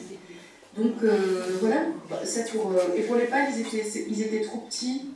Et, et, et- mais, mais par contre, euh, les personnes avec qui je les je leur ai dit, bon ben voilà, fabriquez-moi des pales, donc on les mettait au sol, ils plaçaient leurs planches. Et ça, par exemple, je sais que ça, c'est une proposition, j'ai à peine, à peine retouché. En fait, on va dire que eux, ils proposent, et moi, je reprécise. Voilà. Euh, va- je, je- je- en tout cas, pour les pales, c'est ça. Pour le banc, c'est vraiment eux qui l'ont créé. Et pour les puits en pierre sèche, bah, comme c'est un savoir-faire euh, hyper précis euh, et assez, assez, assez, assez, assez, fort, en tout cas, dans, je trouve, je ça très beau. C'est assez magique. Je sais que donc il y avait trois chantiers d'insertion, hein, c'était rigolo parce que ces trois chantiers, ils, ont, ils, ont, ils avaient vraiment leur façon de construire. euh, on peut reconnaître chaque chantier à, son puits, quoi. Et euh, au départ, moi, je voulais des puits d'une hauteur de 1 mètre, euh, 1 mètre 20, je crois. Et puis, euh, et puis les chefs de chantier m'ont dit, mais non, euh, non, non, non, euh, 1 mètre 5, ça suffit amplement. Donc j'ai dit, bah ok, euh, ok, on va faire... euh, c'est vous qui savez en fait, c'est vous qui savez. Moi, genre, je, je, je sais pas ce que c'est que bâtir en pierre sèche, donc en fait, je vais vous écouter, je vais pas imposer mon truc. Parce que je pense que l'idée, elle est là en fait, que ce soit un mètre 20 ou un mètre 5, franchement, qu'est-ce que ça change? Et c'est pas pour dire, c'est pas pour impréciser euh, et donner une- du flou à- et que l'œuvre doit être floue, en fait, c'est pas ça. C'est plus une question de s'adapter, surtout quand on bosse, quand on travaille en équipe, et d'autant plus avec des savoir-faire qui sont pas les miens. Euh, pas, je, je, je ne peux qu'écouter en fait ce qui m'est donné à entendre enfin. euh, ça me paraît juste euh, normal. J'ai pas à, à, raconter autre chose en fait. Euh, et surtout, j'ai pas raconté leur métier. S'ils me disent que 1m20 c'est trop haut parce que ça leur casse les dos, et, et, ben oui, ben oui, ben voilà.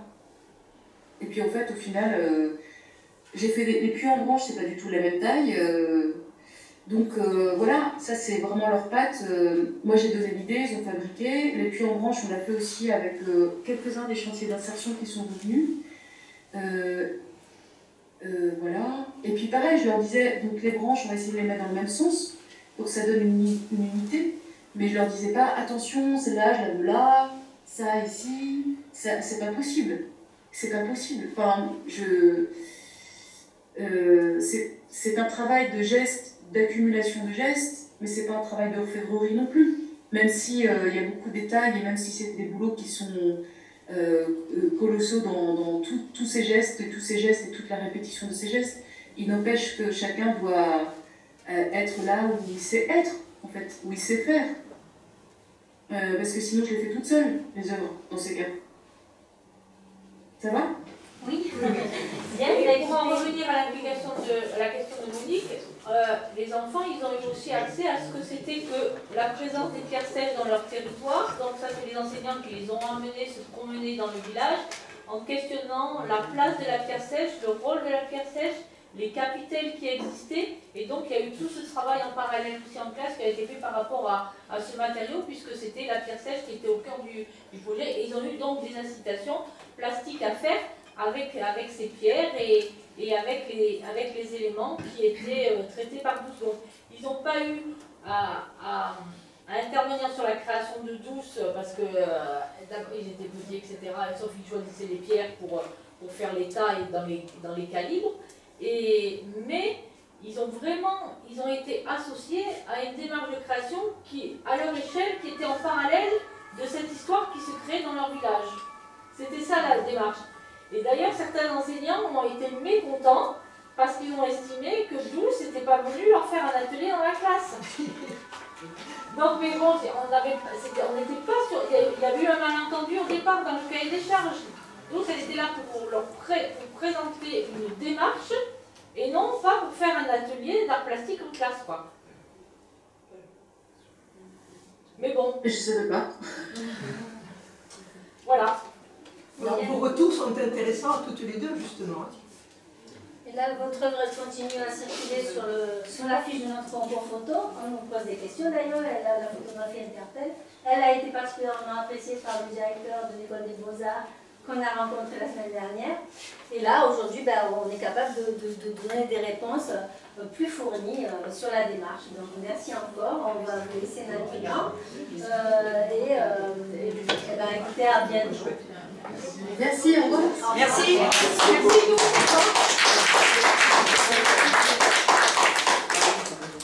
Et alors, encore une précision, Douce est présente aussi dans les œuvres qui sont installées au balcon de l'école. à tous, donc moi je m'appelle Christelle, je suis photographe, parfumeur et voyageuse. Donc euh, comment en suis-je arrivée là ben, On est à de la vie en fait? Commence par une envie de voyage, découverte depuis toute petite. Euh, j'ai grandi dans un petit village du Gard qui s'appelle Valibière, à côté du pont du Gard. Et depuis toute petite, je voulais voyager. Donc euh, j'ai commencé des études en langue étrangère, je me suis dit, euh, si je veux partir voyager, il faut parler les langues. Voilà, ça a été très simple, basique. Et c'est ce que j'ai fait. J'ai étudié les langues étrangères appliquées à Nîmes, à Avignon et à Aix-en-Provence, un peu en Angleterre aussi. Et euh, donc j'ai commencé euh, mon chemin ici en France. Euh, j'ai travaillé d'abord dans un bureau d'études à Montpellier qui travaillait dans la sylviculture, donc tout ce qui est la valorisation de l'environnement, etc.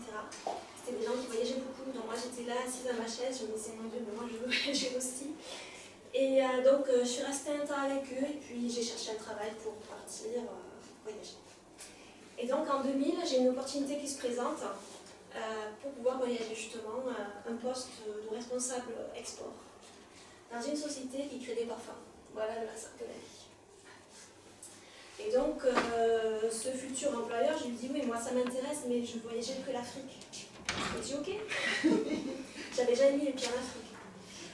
Voilà, donc euh, ça a commencé comme ça. Donc je suis partie euh, vivre en Espagne, puisque c'est en Espagne que j'ai eu cette opportunité-là, de ben, partir donc, dans le monde de la parfumerie que je ne connaissais absolument pas, et voyager l'Afrique au départ.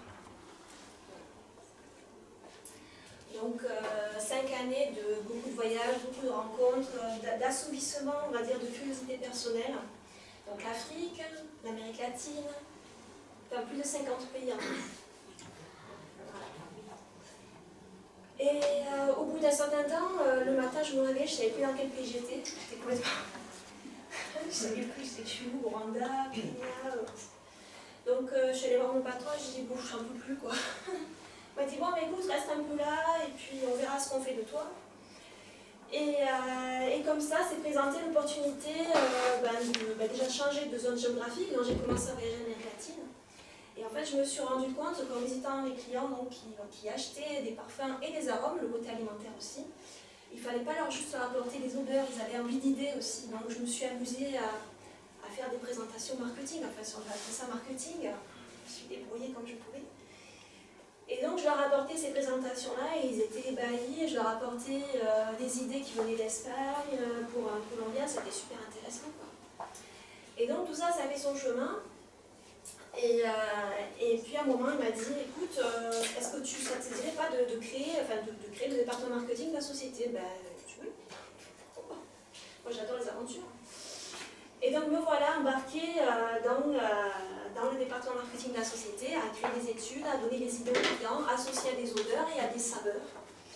Et c'est par ce biais-là qu'est arrivée la photographie, puisque mon travail consistait en fait à illustrer des odeurs ou des goûts avec des textes et des images.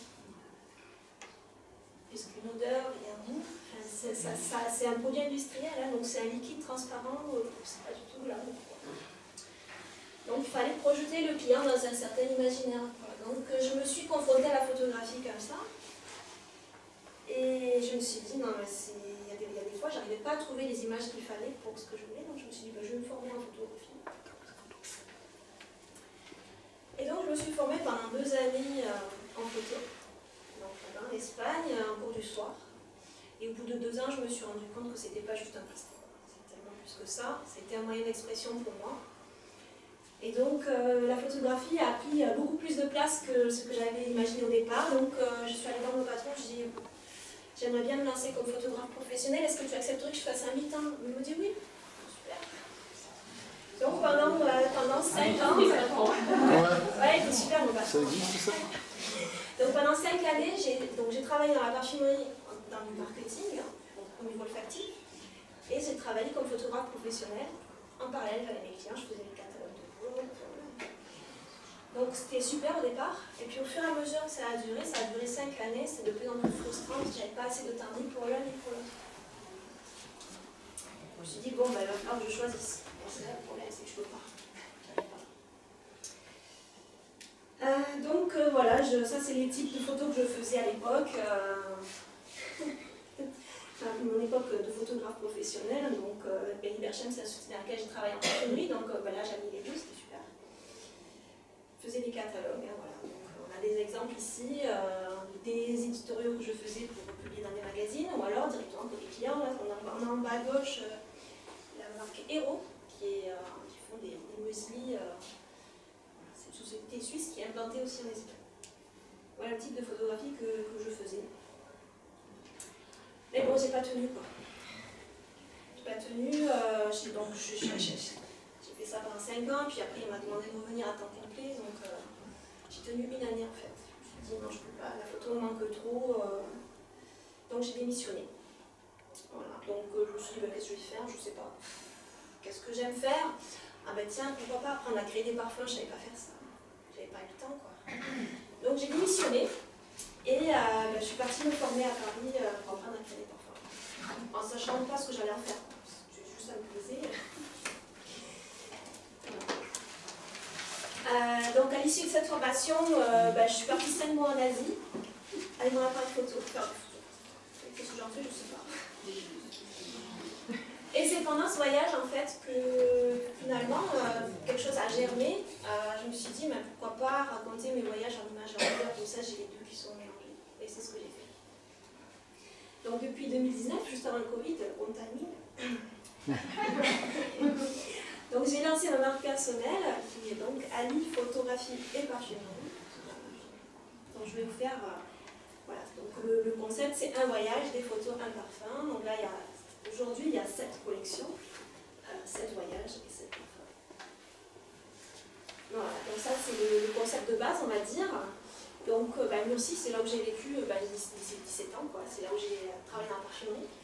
Euh, donc, euh, chaque collection, en fait, c'est une excuse pour, euh, on va dire, euh, parler de mon, ressenti. Finalement, on parlait des arts, mais l'art aussi, c'est l'art qu'on produit euh, dans un lieu qui peut être tout à fait banal. Euh, donc là, moi, j'avais choisi de travailler sur euh, des bâtiments euh, de style art nouveau qu'il y a dans la région de Murcie. Il y en a beaucoup. Donc là, c'est la collection photo. C'est cinq photographies que j'ai prises ben, dans les deux villes principales de Murcie, donc Murcie et Carthagène. Voilà, donc ça c'est ma vision à moi. Moi j'adore la nature, donc finalement la nature rentre dans les intérieurs aussi. Ça peut être aussi l'occasion de, produire sa propre vision aussi du lieu. Des lieux qui sont finalement sans vie, euh, mais qui ont peut-être aussi euh, finalement se projettent dans comment vivent avant. À cette époque-là, moi j'étais plutôt dans, une, dans un ressenti de ne pas vivre le présent. Je, je, je me réfugiais dans le passé. Donc cette collection-là, elle exprime ça finalement. Finalement, on, on exprime comment on se sent par la photographie aussi. Et donc, il y a une odeur associée à, à ça, bien sûr. On va la sentir, ça vous dit? On bien vos narines alors, on a tout prévu. Personne n'est enrhumé Mais ça débouche le nez en général. C'est là qui sont enrhumés. Si vous avez des questions, n'hésitez pas.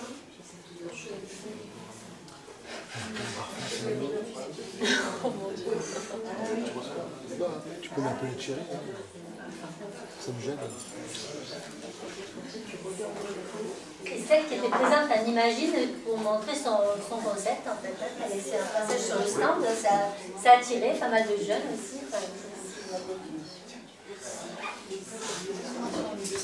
Oui, mais justement, je vais en parler. Oui, bien sûr.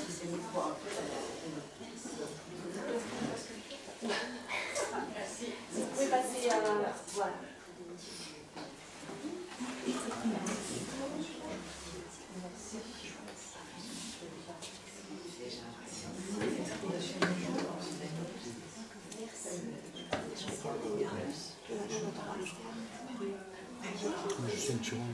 Oui. Tu me feras sentir Tu prends pas tout, hein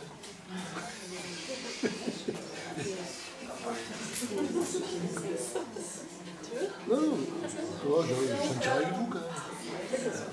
La Ah, photographie est un langage, hein, Je- effectivement. Je croyais qu'elle avait passé après le Donner son point de vue par la photographie, mais aussi par l'odeur.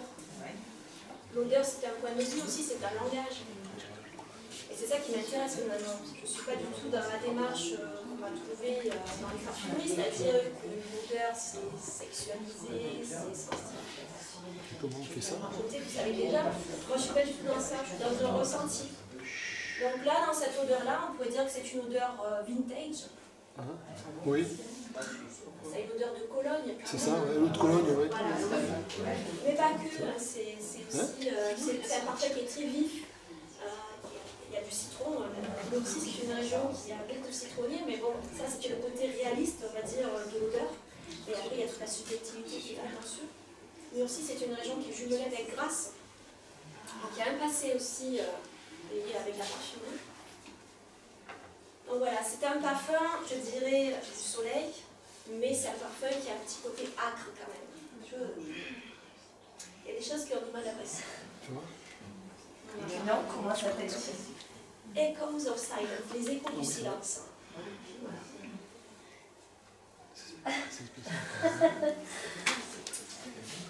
Donc vous avez dans, dans bon, voilà, vous avez au citron, petit grain de citron, le petit grain c'est la feuille du citronnier, curcuma, la menthe d'ananas c'est la menthe marocaine qu'on met dans le thé. Donc dans cette odeur, il y a aussi plein de mes souvenirs euh, vécus là-bas, les voyages que j'ai faits depuis Murcie aussi, enfin voilà, le côté subjectif. De la rose, du rhododendron, des feuilles du rhododendron, lycée coureba, qui sent aussi le côté citronné, cannelle, cannelier, feuilles, bois de rose, feuilles. Bref, il y a plein de choses. Et puis il y a le petit texte qui vient avec la série. En fait, quand je fais les photos, je ne sais pas pourquoi je fais ces photos-là, je suis dans mon ressenti, avec l'odeur pareil, et une fois que tout ça est posé, après j'écris. Donc c'est libérer la parole, investir le présent d'un nouveau printemps. Ça va bien avec ces photos euh, où on a la nature finalement qui éclot dans sa couleur.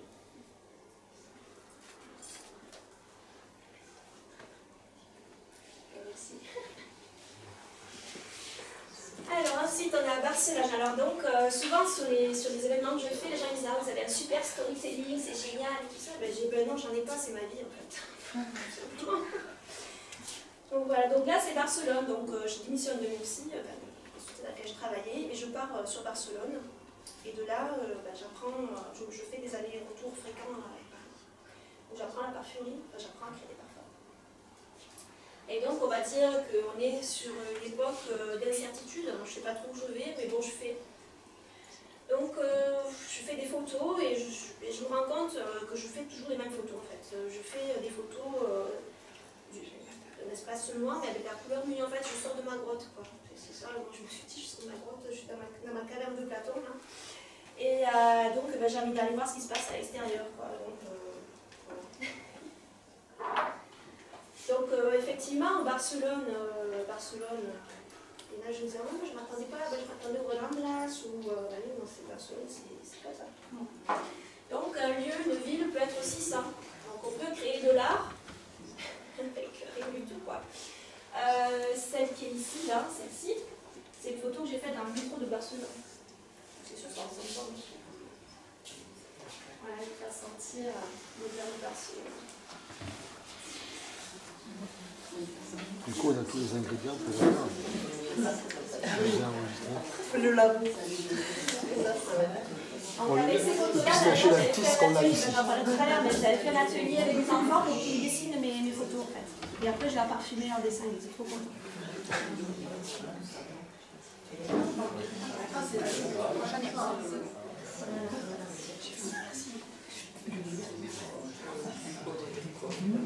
Alors Cette photo de Barcelone a été exposée sur un support aluminium, c'était magnifique. hein. Ah ouais, ouais, ouais, ouais. Ça- Voilà, donc, euh, donc, donc ces photos-là, c'est vraiment enfin, l'odeur et aussi l'expression des photos finalement, puisque c'est une odeur qui est assez ambivalente.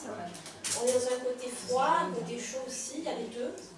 Il y a un côté sec, un côté humide, il y a vraiment une odeur de grotte, mais il y a aussi, il y a aussi de, de la luminosité. Voilà, c'est Ah, vraiment euh, ce que je voulais exprimer dans, dans ce, dans ce parfum, en fait. Le parfum était insolite hein, pour la ville. Oui, oui.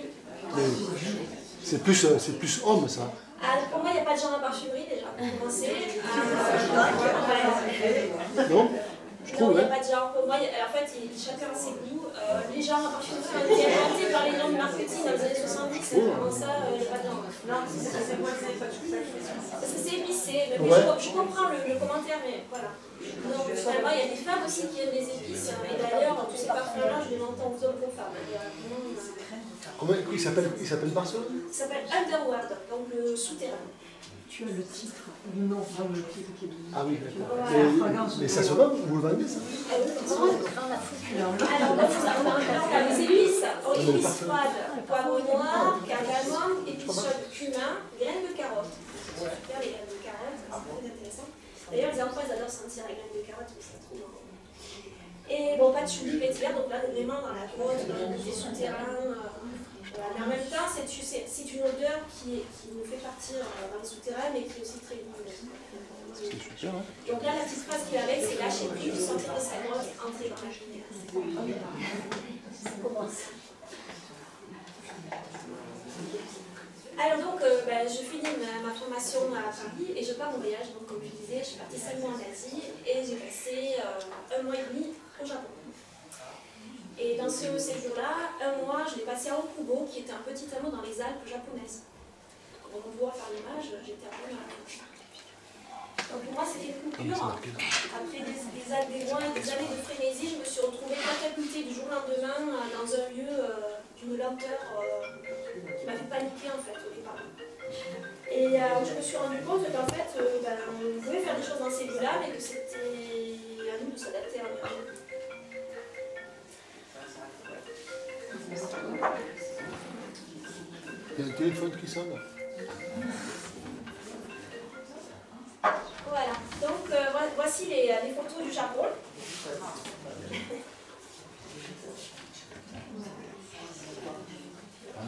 C'est une bonne photo pour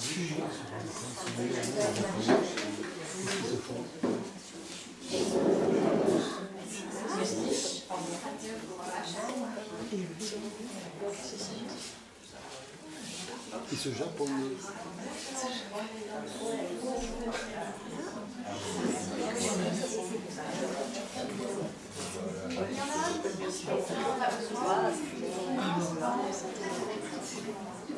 On a l'impression d'avoir une lit sur une fleur. Ah ouais, ça c'est frais ça. Donc, euh, c'est quand même plus féminin ça. la Fondation Bangkok pour un atelier euh, euh, et des, pour des petits enfants d'entre 8 et 12 ans créent une odeur liée à une œuvre. Et je leur ai fait sentir ce parfum. Et c'était Oh Waouh Ça sent la forêt vous voyez, on peut créer une odeur de forêt si on veut. Alors ils étaient complètement éberlués. Effectivement, on peut faire tout ce qu'on veut en odeur. Mais la condition, c'est d'avoir été sur le site pour respirer, je et sentir. Alors, en fait, la respiration est importante, mais c'est surtout le vécu. Parce que moi, je travaille beaucoup sur le ressenti. Effectivement, il peut y avoir des petits clins d'œil, d'odeurs que j'ai croisés sur route, etc. Mais il y a quand même un certain ressenti aussi. Donc, c'est aussi leur ressenti qu'ils peuvent exprimer aussi en odeur. C'est ça qui est intéressant. Hein, ne soit pas du littéral.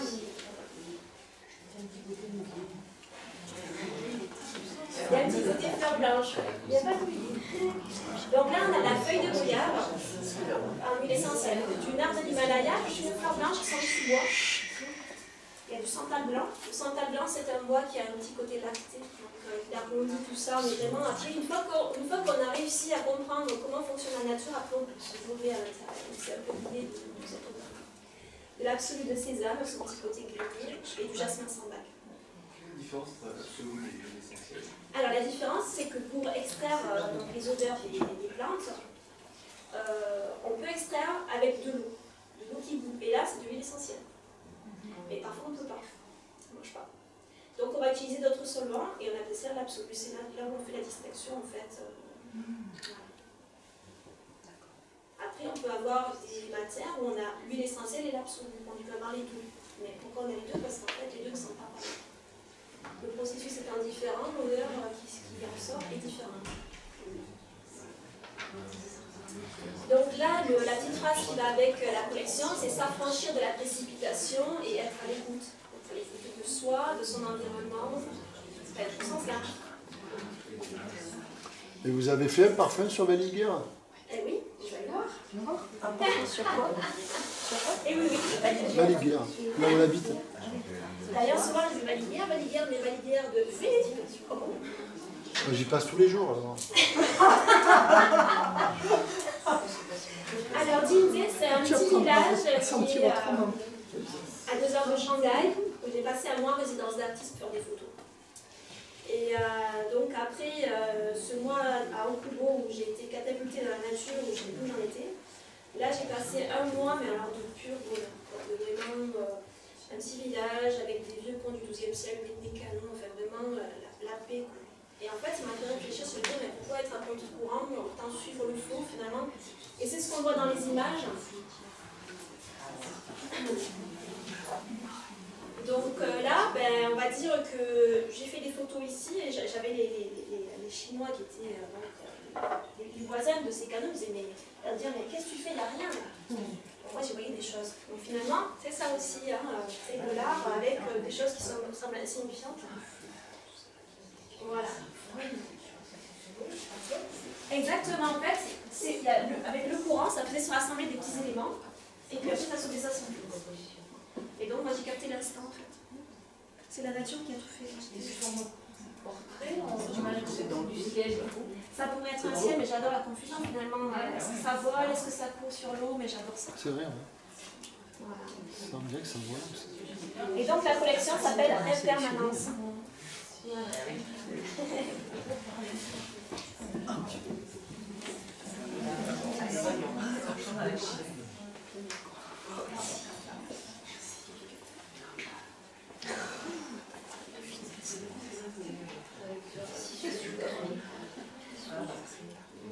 J'entends c'est sucré. En fait, c'est pas sucré, mais il y a une matière qu'on est habitué à manger, c'est la bergamote. Les comprend la bergamote. Alors souvent on confond, mais en fait il n'y a pas de sucre dans ce parfum.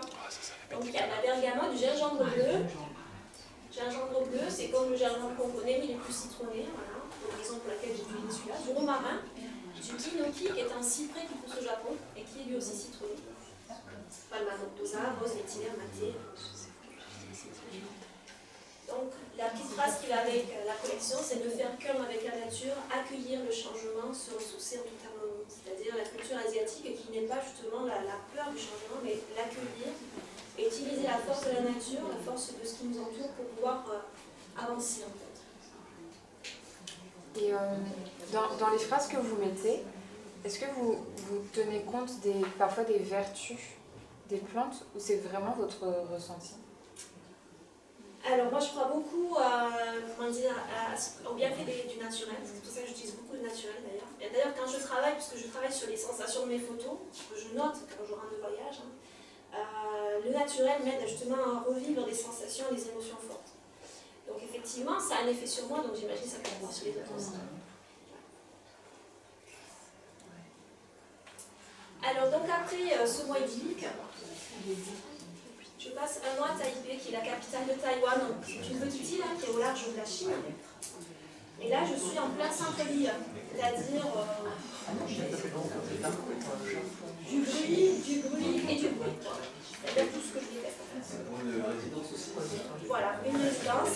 Donc euh, là, euh, je me dis, bon, là, je me sens pas bien.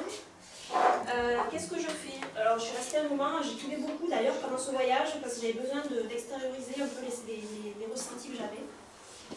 Et puis je me suis dit, ben, si la journée ça ne t'inspire pas, ben, t'as pas sortir la nuit. voilà. Et donc la nuit c'était déjà mieux. Euh, mais bon, euh, je cherchais la nature, on me manquait trop. Donc en fait on voit quelques lueurs de la, de la ville hein, et surtout on voit la nature qui en fait me permettait de supporter cet environnement qui était au moins euh, insupportable. Vous étiez dans la ville ou... Ah oui, j'étais en plein centre, mais alors... Ah, oui, euh, oui, oui c'était pas du tout... Euh, donc j'ai passé 15 jours en plein centre, puis après j'ai en fait, cherché un Airbnb, je suis allée m'expatrier, on va dire, sur les montagnes qui avaient à l'extérieur de la ville, donc ça c'était déjà mieux. Mais voilà, donc en fait, c'est l'odeur de mes déambulations nocturnes.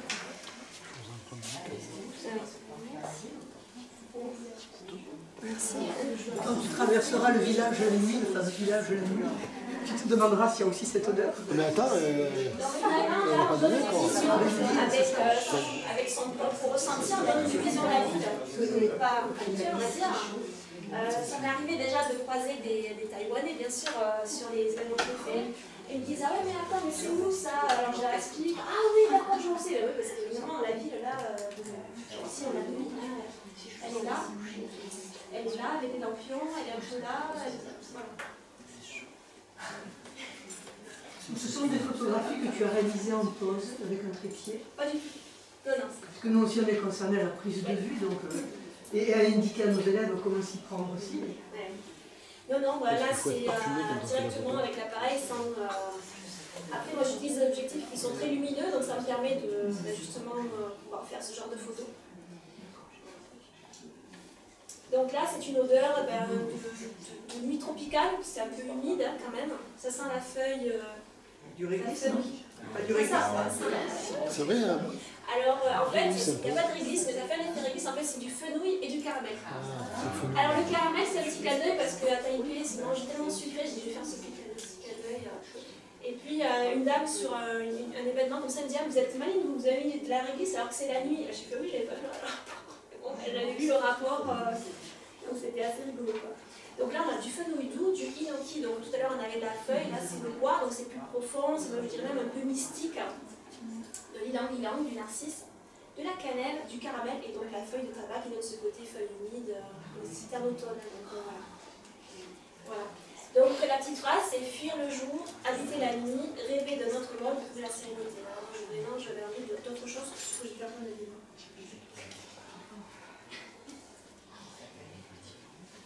Voilà ma liguière. Alors, donc, rentre de voyage.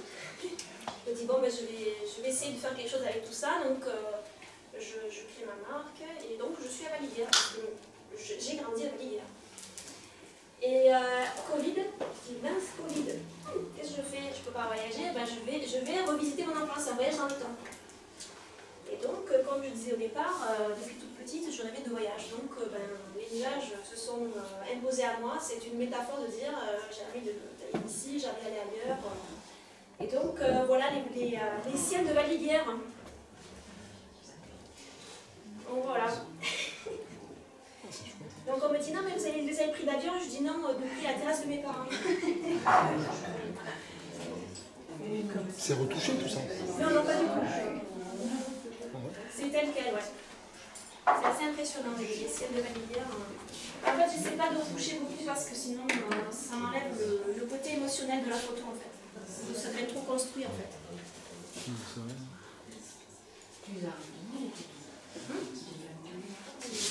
Comment ça? Ah oui, après, oui, après je me prends la. je me dis, bah, j'ai envie de mettre comme ça les images parce que ça plaît. On dirait un tableau, ouais. Ah, merci. Bah, J'adore la peinture, alors effectivement, ça peut euh, ressortir aussi dans ce que je fais. euh, C'est incroyable. Tu embaumes la salle avec cette, ce nouveau parfum. Celui-là, il y va. On voulait faire un parfum sérieux maintenant. Ah ben, ah, d'accord. Ça nous donne envie d'aller Les rouges, foncés, hein, voilà. Ah oui, mais là, là, il manque la vigne, il manque le, le figuier. Alors, effectivement, on n'est pas dans un parfum, euh, ça sent pas la campagne. Ça sent, ça sent l'odeur du voyage, parce que finalement, c'est ça. Et puis, ça sent aussi la cuisine de ma grand-mère. Donc là, on a un côté gourmand. Ouais, sucré. Voilà, en fait, ce qui donne la couleur au parfum, c'est de la vanille naturelle. Un côté rond, euh, régressif, on va dire. Il y a un côté fruité aussi, je sais pas si vous le Comme le sentez. pain d'épices, le- petit côté fruité, c'est la fleur de magnolia en huile essentielle. Je trouve que sent la compote de pomme. Et puis un peu la fleur de thym quand même, parce que je me suis dit donc. Et puis un côté, on va dire, euh, plus euh, agressif, si on peut appeler d'agressif, un peu cuir, animal. Donc c'est gourmand et c'est cuir à la fois, c'est-à-dire c'est ambivalent comme la photo que vous avez au milieu, c'est-à-dire euh, avec les opposés chromatiques, euh, rouge et... Et là, tu ça sent la meringue.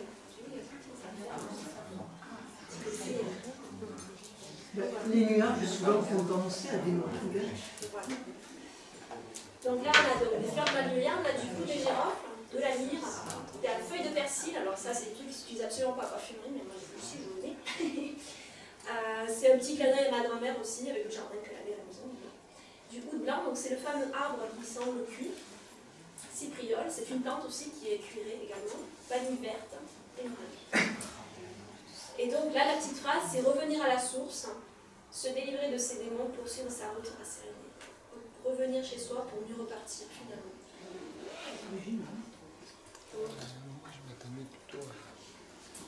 Et donc, memory lane en anglais, ça veut dire euh, revisiter en fait ses souvenirs. Et ça, c'est le dernier qu'on va sentir aujourd'hui. La Foudalos. Est-ce qu'il connaissent la Foudalos C'est les Alpes-Maritimes, ça? C'est les Alpes de Provence. Donc euh, l'année dernière, j'ai fait euh, un salon à Arles. Et euh, donc euh, j'étais là et il y a un monsieur qui est passé, m'a dit Ah, mais nous on est de la foule de la foule on fait une- un événement en janvier. euh, Est-ce que vous ne voudriez pas présenter euh, votre, votre démarche? Ah, ben j'ai dit Bah oui, pourquoi pas. Donc je suis partie, je suis allée là-bas, à la foule d'Alos, en janvier. Et euh, donc à la présentation, il y avait un quintet de jazz qui a improvisé sur chaque- chacun des parfums, donc c'était génial. Et donc, euh, bah, je suis restée pour longtemps et ils ont fait des photos euh, bah, de la neige. Ah oui, voilà.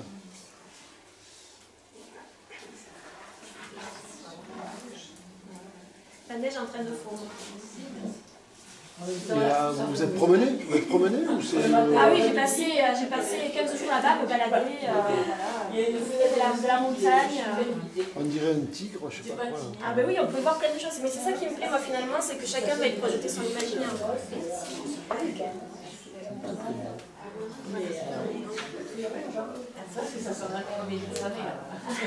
Ah oui, c'est bizarre, ouais, c'est vrai. Alors que là, c'est la neige. Voilà, donc bah, ça sent la neige, enfin ça sent la forêt enneigée. Ouais, ça. Je vous assurer que la neige a une odeur. Voilà, c'est la, question, se comprend. La ministre, je peux assurer que ça vient de... Ça dépend sur quoi elle est. Ça sent, ça sent tine, ça sent les chalets, ça sent. Ben, j'ai plein de commentaires Ah oui, l'odeur de chalet aussi. Ouais, ouais. Euh, Ou le, le, le, la- ce qu'on met de Oui. ski aussi. enfin. Et donc là, on a de la sauge blanche, qui a un petit côté camphré qui donne le côté fruit au départ. On a de la baie Saint-Thomas ou du piment couronné, c'est le même autre nom du. Donc il y a le côté pimenté. La criste marine, qui est une plante qui pousse au bord de la mer, qui donne un côté minéral, un peu aqueux, hein, parce qu'on est quand même sous la neige en train de fondre. Euh, L'élémie, qui est une autre matière, qui a un petit côté un peu citronné. euh, le poivre sichuan, les mélèzes, le mélèze, donc Mélèze, oui. voilà, le mélèze qui pousse à la foudalose, donc là c'est des aiguilles. Le styrax, c'est une matière qui donne un petit un côté un peu, euh, on va dire, euh, mystique, euh, un peu en sens, mais qui est là à peine. L'épinette noire, qui est un autre résineux, du Canada, et qui pousse jusqu'en Antarctique. Et puis le- l'iris, donc ça c'est du beurre d'iris, euh, qui va arrondir tout ça, qui va donner un petit côté poudreuse comme, comme la neige. Et tout ça, c'est quoi? C'est des arômes C'est comment? C'est des huiles essentielles. C'est naturel? Oui, oui, tout ça c'est C'est naturel. Ah, ouais, ouais. Ah oui, c'est des trucs. Enfin, j'adore utiliser des matières qui sont très peu utilisées en parfumerie parce que finalement elles m'aident aussi à raconter mon histoire. Donc la petite phrase déserter les abîmes, doucement s'éveiller au vertige de la gloire. L'amour universel, l'amour plus en Mmh, C'est pas mal. Voilà pour, euh, pour ma, ma pratique, je dirais personnelle, entre, entre photo et parfum. Finalement, euh, le, parfum c'est une excuse pour prolonger le voyage. Donc, euh, oui. Euh, C'est juste pour savoir, ces parfums-là, vous les faites une fois que vous rentrez, vous les faites sur site? Non, non, je ne peux pas les faire sur site parce qu'il faudrait que je prenne plein de matière et puis euh, c'est pas possible. En fait, je, je pars vraiment faire des photos, que faire des photos. C'est ça mon, mon objectif.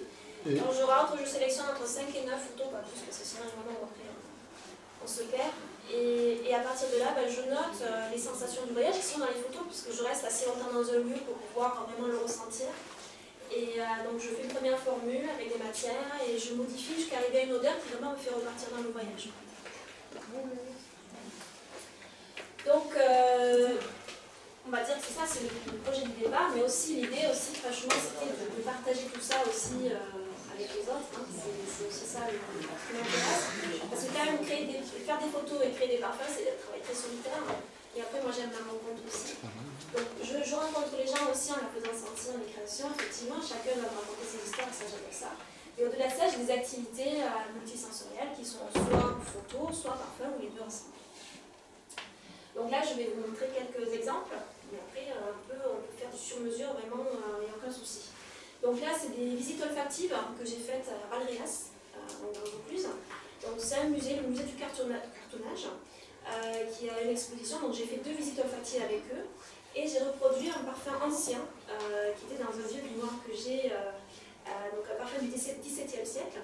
Et donc j'ai fait découvrir aux, gens donc, les odeurs qu'il y avait à l'époque dans les poudres, puisque Valréas c'est une ville où il y avait beaucoup de cartonnage. Faisaient les, emballages de tout ce qui est cosmétique, etc. Donc ils ont une grosse collection euh, par rapport à ça. Et donc je leur ai fait sentir des odeurs, euh, voilà, il y avait plein, euh, les gens sont toujours très contents de sentir. Et puis je leur ai fait découvrir donc, le parfum à la maréchale, qui a été créé dans le XVIIe siècle. Et donc c'était assez rigolo de voir les réactions, parce que c'est quand même des odeurs qui ne sont pas du tout contemporaines. Donc c'est. Oui, mais bon, après, les goûts changent, hein, c'est du Après, j'ai fait des créations olfactives aussi pour les musées. Euh, donc, inspiré d'œuvres écrites dans le, dans le cas précis. Donc, ça, c'est euh, un musée qui est à Lunel. euh. Donc, euh, j'ai collaboré avec eux sur deux expositions. Une première qui était en lien avec euh, donc, euh, les reliures et les livres. Donc, ils m'ont commandé une odeur de vieux livres, de cuir ciré Eh et, oui. d'or. Voilà. Donc, l'or, on imagine, c'est un peu quand même quelque chose de plus, on va-t-il imaginer. Ouais. Mais après, euh, le cuir, donc là, on voit une photo avec les trois parfums sur un morceau de cuir. En fait, j'ai récupéré du cuir de chèvre, de, mouton, etc. Et donc, tout ça, ça m'a aidé aussi à créer euh, l'odeur.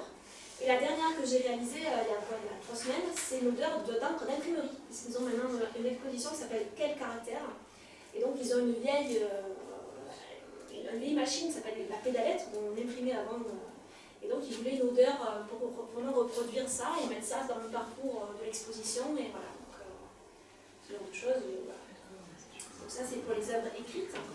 Les œuvres picturales aussi, puisque j'ai collaboré avec euh, la Fondation Van Gogh euh, sur une exposition l'année dernière. donc là, l'idée c'était de créer six odeurs. Donc il y en avait trois inspirées par des œuvres de Van Gogh, donc là il m'en envoie une. une autre qui s'appelait bah, Pissenlit, hein, on marqué, voilà. Et puis il y avait une autre artiste qui était présente avec, on voit sur les murs les, papiers peints, Laura Owens, qui est une américaine. Donc j'ai créé trois odeurs en lien avec des morceaux, on va dire, de ce papier peint. Donc au départ, ils pensaient utiliser ça en médiation avec les enfants, et en fait, ben, ils l'ont utilisé avec tous les âges parce que finalement, ça intéresse tout le monde. Donc finalement, on peut créer des odeurs avec, à, partir de plein de choses. Moi, je le fais à partir des photos, mais on peut faire ça effectivement à partir de livres, à partir de peintures. Il n'y a rien qui nous arrête. Là, par exemple, c'est une collaboration que j'ai faite avec une artiste, euh, une sculptrice, qui voulait parfumer ses œuvres. Donc, elle sculpte en cire. Hein. Donc, euh, ben voilà, donc euh, j'ai créé une odeur et elle l'a rajoutée, elle l'a incorporée dans, ses œuvres. Il n'y a pas de limite en fait, c'est vraiment limite entre les deux, imaginaire. Ici, c'est une présentation que j'ai faite au Château Bourrier à Marseille. Euh, donc euh, l'année dernière, ils avaient une exposition où ils, euh, donc, présentaient les lauréats de la Villa Noailles en création contemporaine de vases. On voit sur la photo en haut à droite un vase qui est fermé en son bout. Donc il y avait 10 vases lauréats des 10 dernières années, donc j'en ai choisi 3 et j'ai créé la version olfactive de ces vases. Et j'ai restitué ça en une soirée, un after work public, et ensuite avec des enfants. Donc là, je leur fais sentir les matières premières qui dans les parfums. C'était assez rigolo, euh, ça pue, euh, évidemment. Donc, euh, surtout celui-là qu'on voit ici. C'est un vase qui, moi, quand je l'ai vu, je me suis dit, on dirait les planètes, simplement, ça me fait penser à ça. Donc j'ai fait l'odeur de l'espace. Alors, elle me disait, mais l'espace, ça sent pas. En fait, l'odeur de l'espace, ils nous viennent des cosmonautes, parce que quand ils sortent en opération, donc ils ont leur et quand ils rentrent dans, dans, la navette, il y a une odeur sur leur, euh, sur leur vêtement, donc c'est ça en fait cette odeur-là. Donc ça sent le poulet grillé, euh, ça sent le plastique brûlé, enfin une odeur, enfin, c'est une odeur, c'est pas parfum. Donc c'était assez, euh, assez rigolo de leur faire sentir du, boulot. Par exemple, l'huile essentielle de boulot, ça sent, ça sent le feu de. C'est assez étonnant. Voilà, donc ça les sort un peu de leurs idées que le parfum ça sent bon. Ça peut aussi avoir des odeurs désagréables.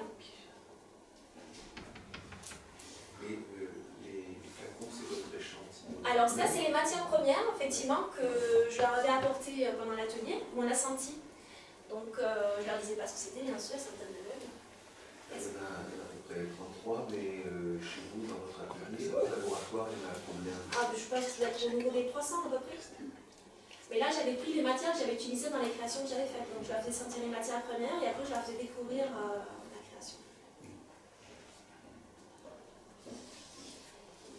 Après, ben, je collabore aussi, donc là c'est encore la Fondation Van Gogh sur l'exposition dont j'ai parlé tout à l'heure. Donc là c'était un stage adulte sur 4 jours, donc là qui alliait photo et parfum.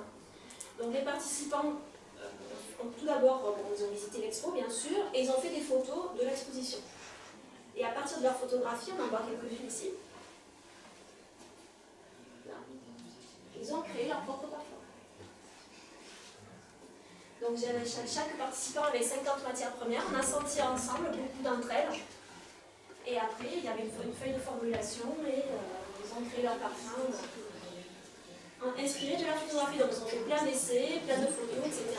Et à la fin, ils sont partis avec leur bouteille de 50 ml euh, en souvenir de, l'atelier. Je vois que les étiquettes de chacun des flacons est quasiment identique.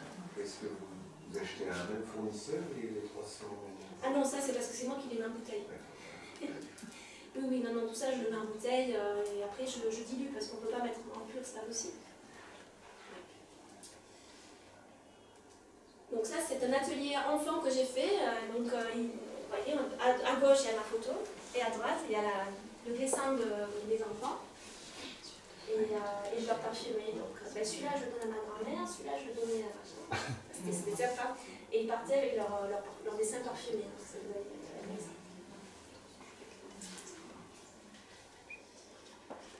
Après atelier parfum enfant, donc euh, cet été, euh, au Fort Saint-André, à Villeneuve-les-Avignon, euh, donc j'ai eu l'occasion d'animer 8 petit atelier enfant. Donc euh, c'était de 6 à, 6 à 8 ans principalement. Et puis euh, il y avait un des plus grands jusqu'à 10 ans, mais c'était surtout des, petits. Donc là, on a travaillé avec euh, donc la personne qui est en charge des animations. Donc euh, je suis allée une première fois, je suis allée visiter le lieu. Et l'idée c'était de trouver une dizaine d'odeurs, pas plus parce que les enfants étaient petits et que ce soit assez rapide. On a, on a donc j'ai noté toutes les odeurs qu'il y avait au Fort Saint-André. Donc l'idée c'était qu'ils puissent créer leur odeur du Fort Saint-André. Voilà. Donc euh, j'ai choisi 10 matières. Donc il y a un bon cèdre dans, dans le fort, donc il y avait odeur de cèdre. Ils ont un jardin pédagogique, donc il y avait de la menthe, il y avait de la sauge, euh, il y avait de la lavande bien sûr. euh, voilà. Puis il y a la pierre. Oui, alors j'ai en fait ce que j'ai essayé c'est de mettre des matières qui soient faciles quand même associées parce que évidemment là c'est bien plus abstrait donc euh, donc voilà donc là on voit les, les- les petits enfants en train de, de composer. Moi je suis là aussi pour, pour guider hein, bien sûr donc on sent d'abord euh, toutes ces matières ensemble. Donc c'est une façon pour eux de voir ce qu'ils aiment, ce qu'ils n'aiment pas, ce qu'ils vont mettre dans leur parfum ou pas. Et ils ont donc une feuille qu'on voit là, où il y a toutes les matières indiquées, et ils doivent faire un total sur 50. Et après, ils pèsent. Donc les, les petites fioles qu'on voit, c'est des comptes-gouttes, et donc ils doivent peser, peser des gouttes jusqu'à arriver à 50. Voilà. Alors, euh, bon, parfois, les gouttes, elles sont un peu grosses. Ça fait quand même. donc là, on voit violette, paille, il y avait une odeur de paille, qu'ils ont adoré d'ailleurs. Euh, rose, sauge, voilà. Donc euh, ils ont fait plusieurs essais et donc euh, à la fin, moi j'étais avec ma balance de précision, donc voilà, en train de peser leur création. Et ils partaient avec. donc après, les certains qui ont fait des dessins aussi sur ce qu'ils avaient mis dans leur parfum. Mais on avait de tout, hein. une petite fille qui s'est dessinée avec, avec son petit parfum en train de se pulvériser. Alors il y a des trucs. Et euh, voilà, après, il y a qui plus scientifiques, à 50% de fraises, 10% de menthe, voilà, chacun son truc. Et euh, donc à la fin, ils sont repartis tous avec leur petit flacon euh, donc, du Fort Saint-André, donc de, de l'odeur. Ils ont fait leur petite étiquette avec le nom, le produit. donc ça c'était super intéressant. Et hier, j'ai fait un atelier donc, à, la Fondation Mangog aussi, c'était dans, dans la même idée aussi. Et là, on s'est inspiré d'une œuvre d'une artiste nigériane. Ils ont créé leur petit parfum aussi. Ils sont repartis avec le petit flacon comme, aujourd'hui. Voilà.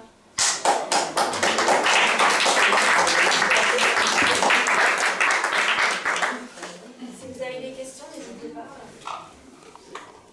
Là, c'est pareil, hein, ça, demande de- d'être à l'écoute du lieu, de bien s'imprégner de ce qui nous entoure. Et là, je voulais vous demander, ça a pas mal parlé de parfum, mais si, donc, dans le cadre de cette approche photographique qu'on veut mettre en place, euh, qu'est-ce que- quelles seraient tes premières indications à donner à un jeune public, finalement, avant de prendre la photo, s'imprégner du lieu, faire attention, où, où aller, y aller spontanément, faire peut-être des clichés, pas. Moi, moi, je pense que tout est art en fait, Euh, même ce qui n'est pas une œuvre. Donc en fait, c'est vraiment suivre son ressenti euh, et avoir son sa propre vision des choses. Voilà, c'est-à-dire pas, pas avoir peur de l'œuvre et, et en fait la créer soi-même. C'est ça, c'est ça. Et, et en fait, déjà se centrer sur une chose, parce que c'est quand on pense aux deux en même temps, en fait, on se perd. Donc vraiment commencer par la photo, et si après on veut rajouter une dimension olfactive à tout ça, c'est tout à fait possible. C'est ce qu'on vivra après-midi dans la pratique photo avec Christelle.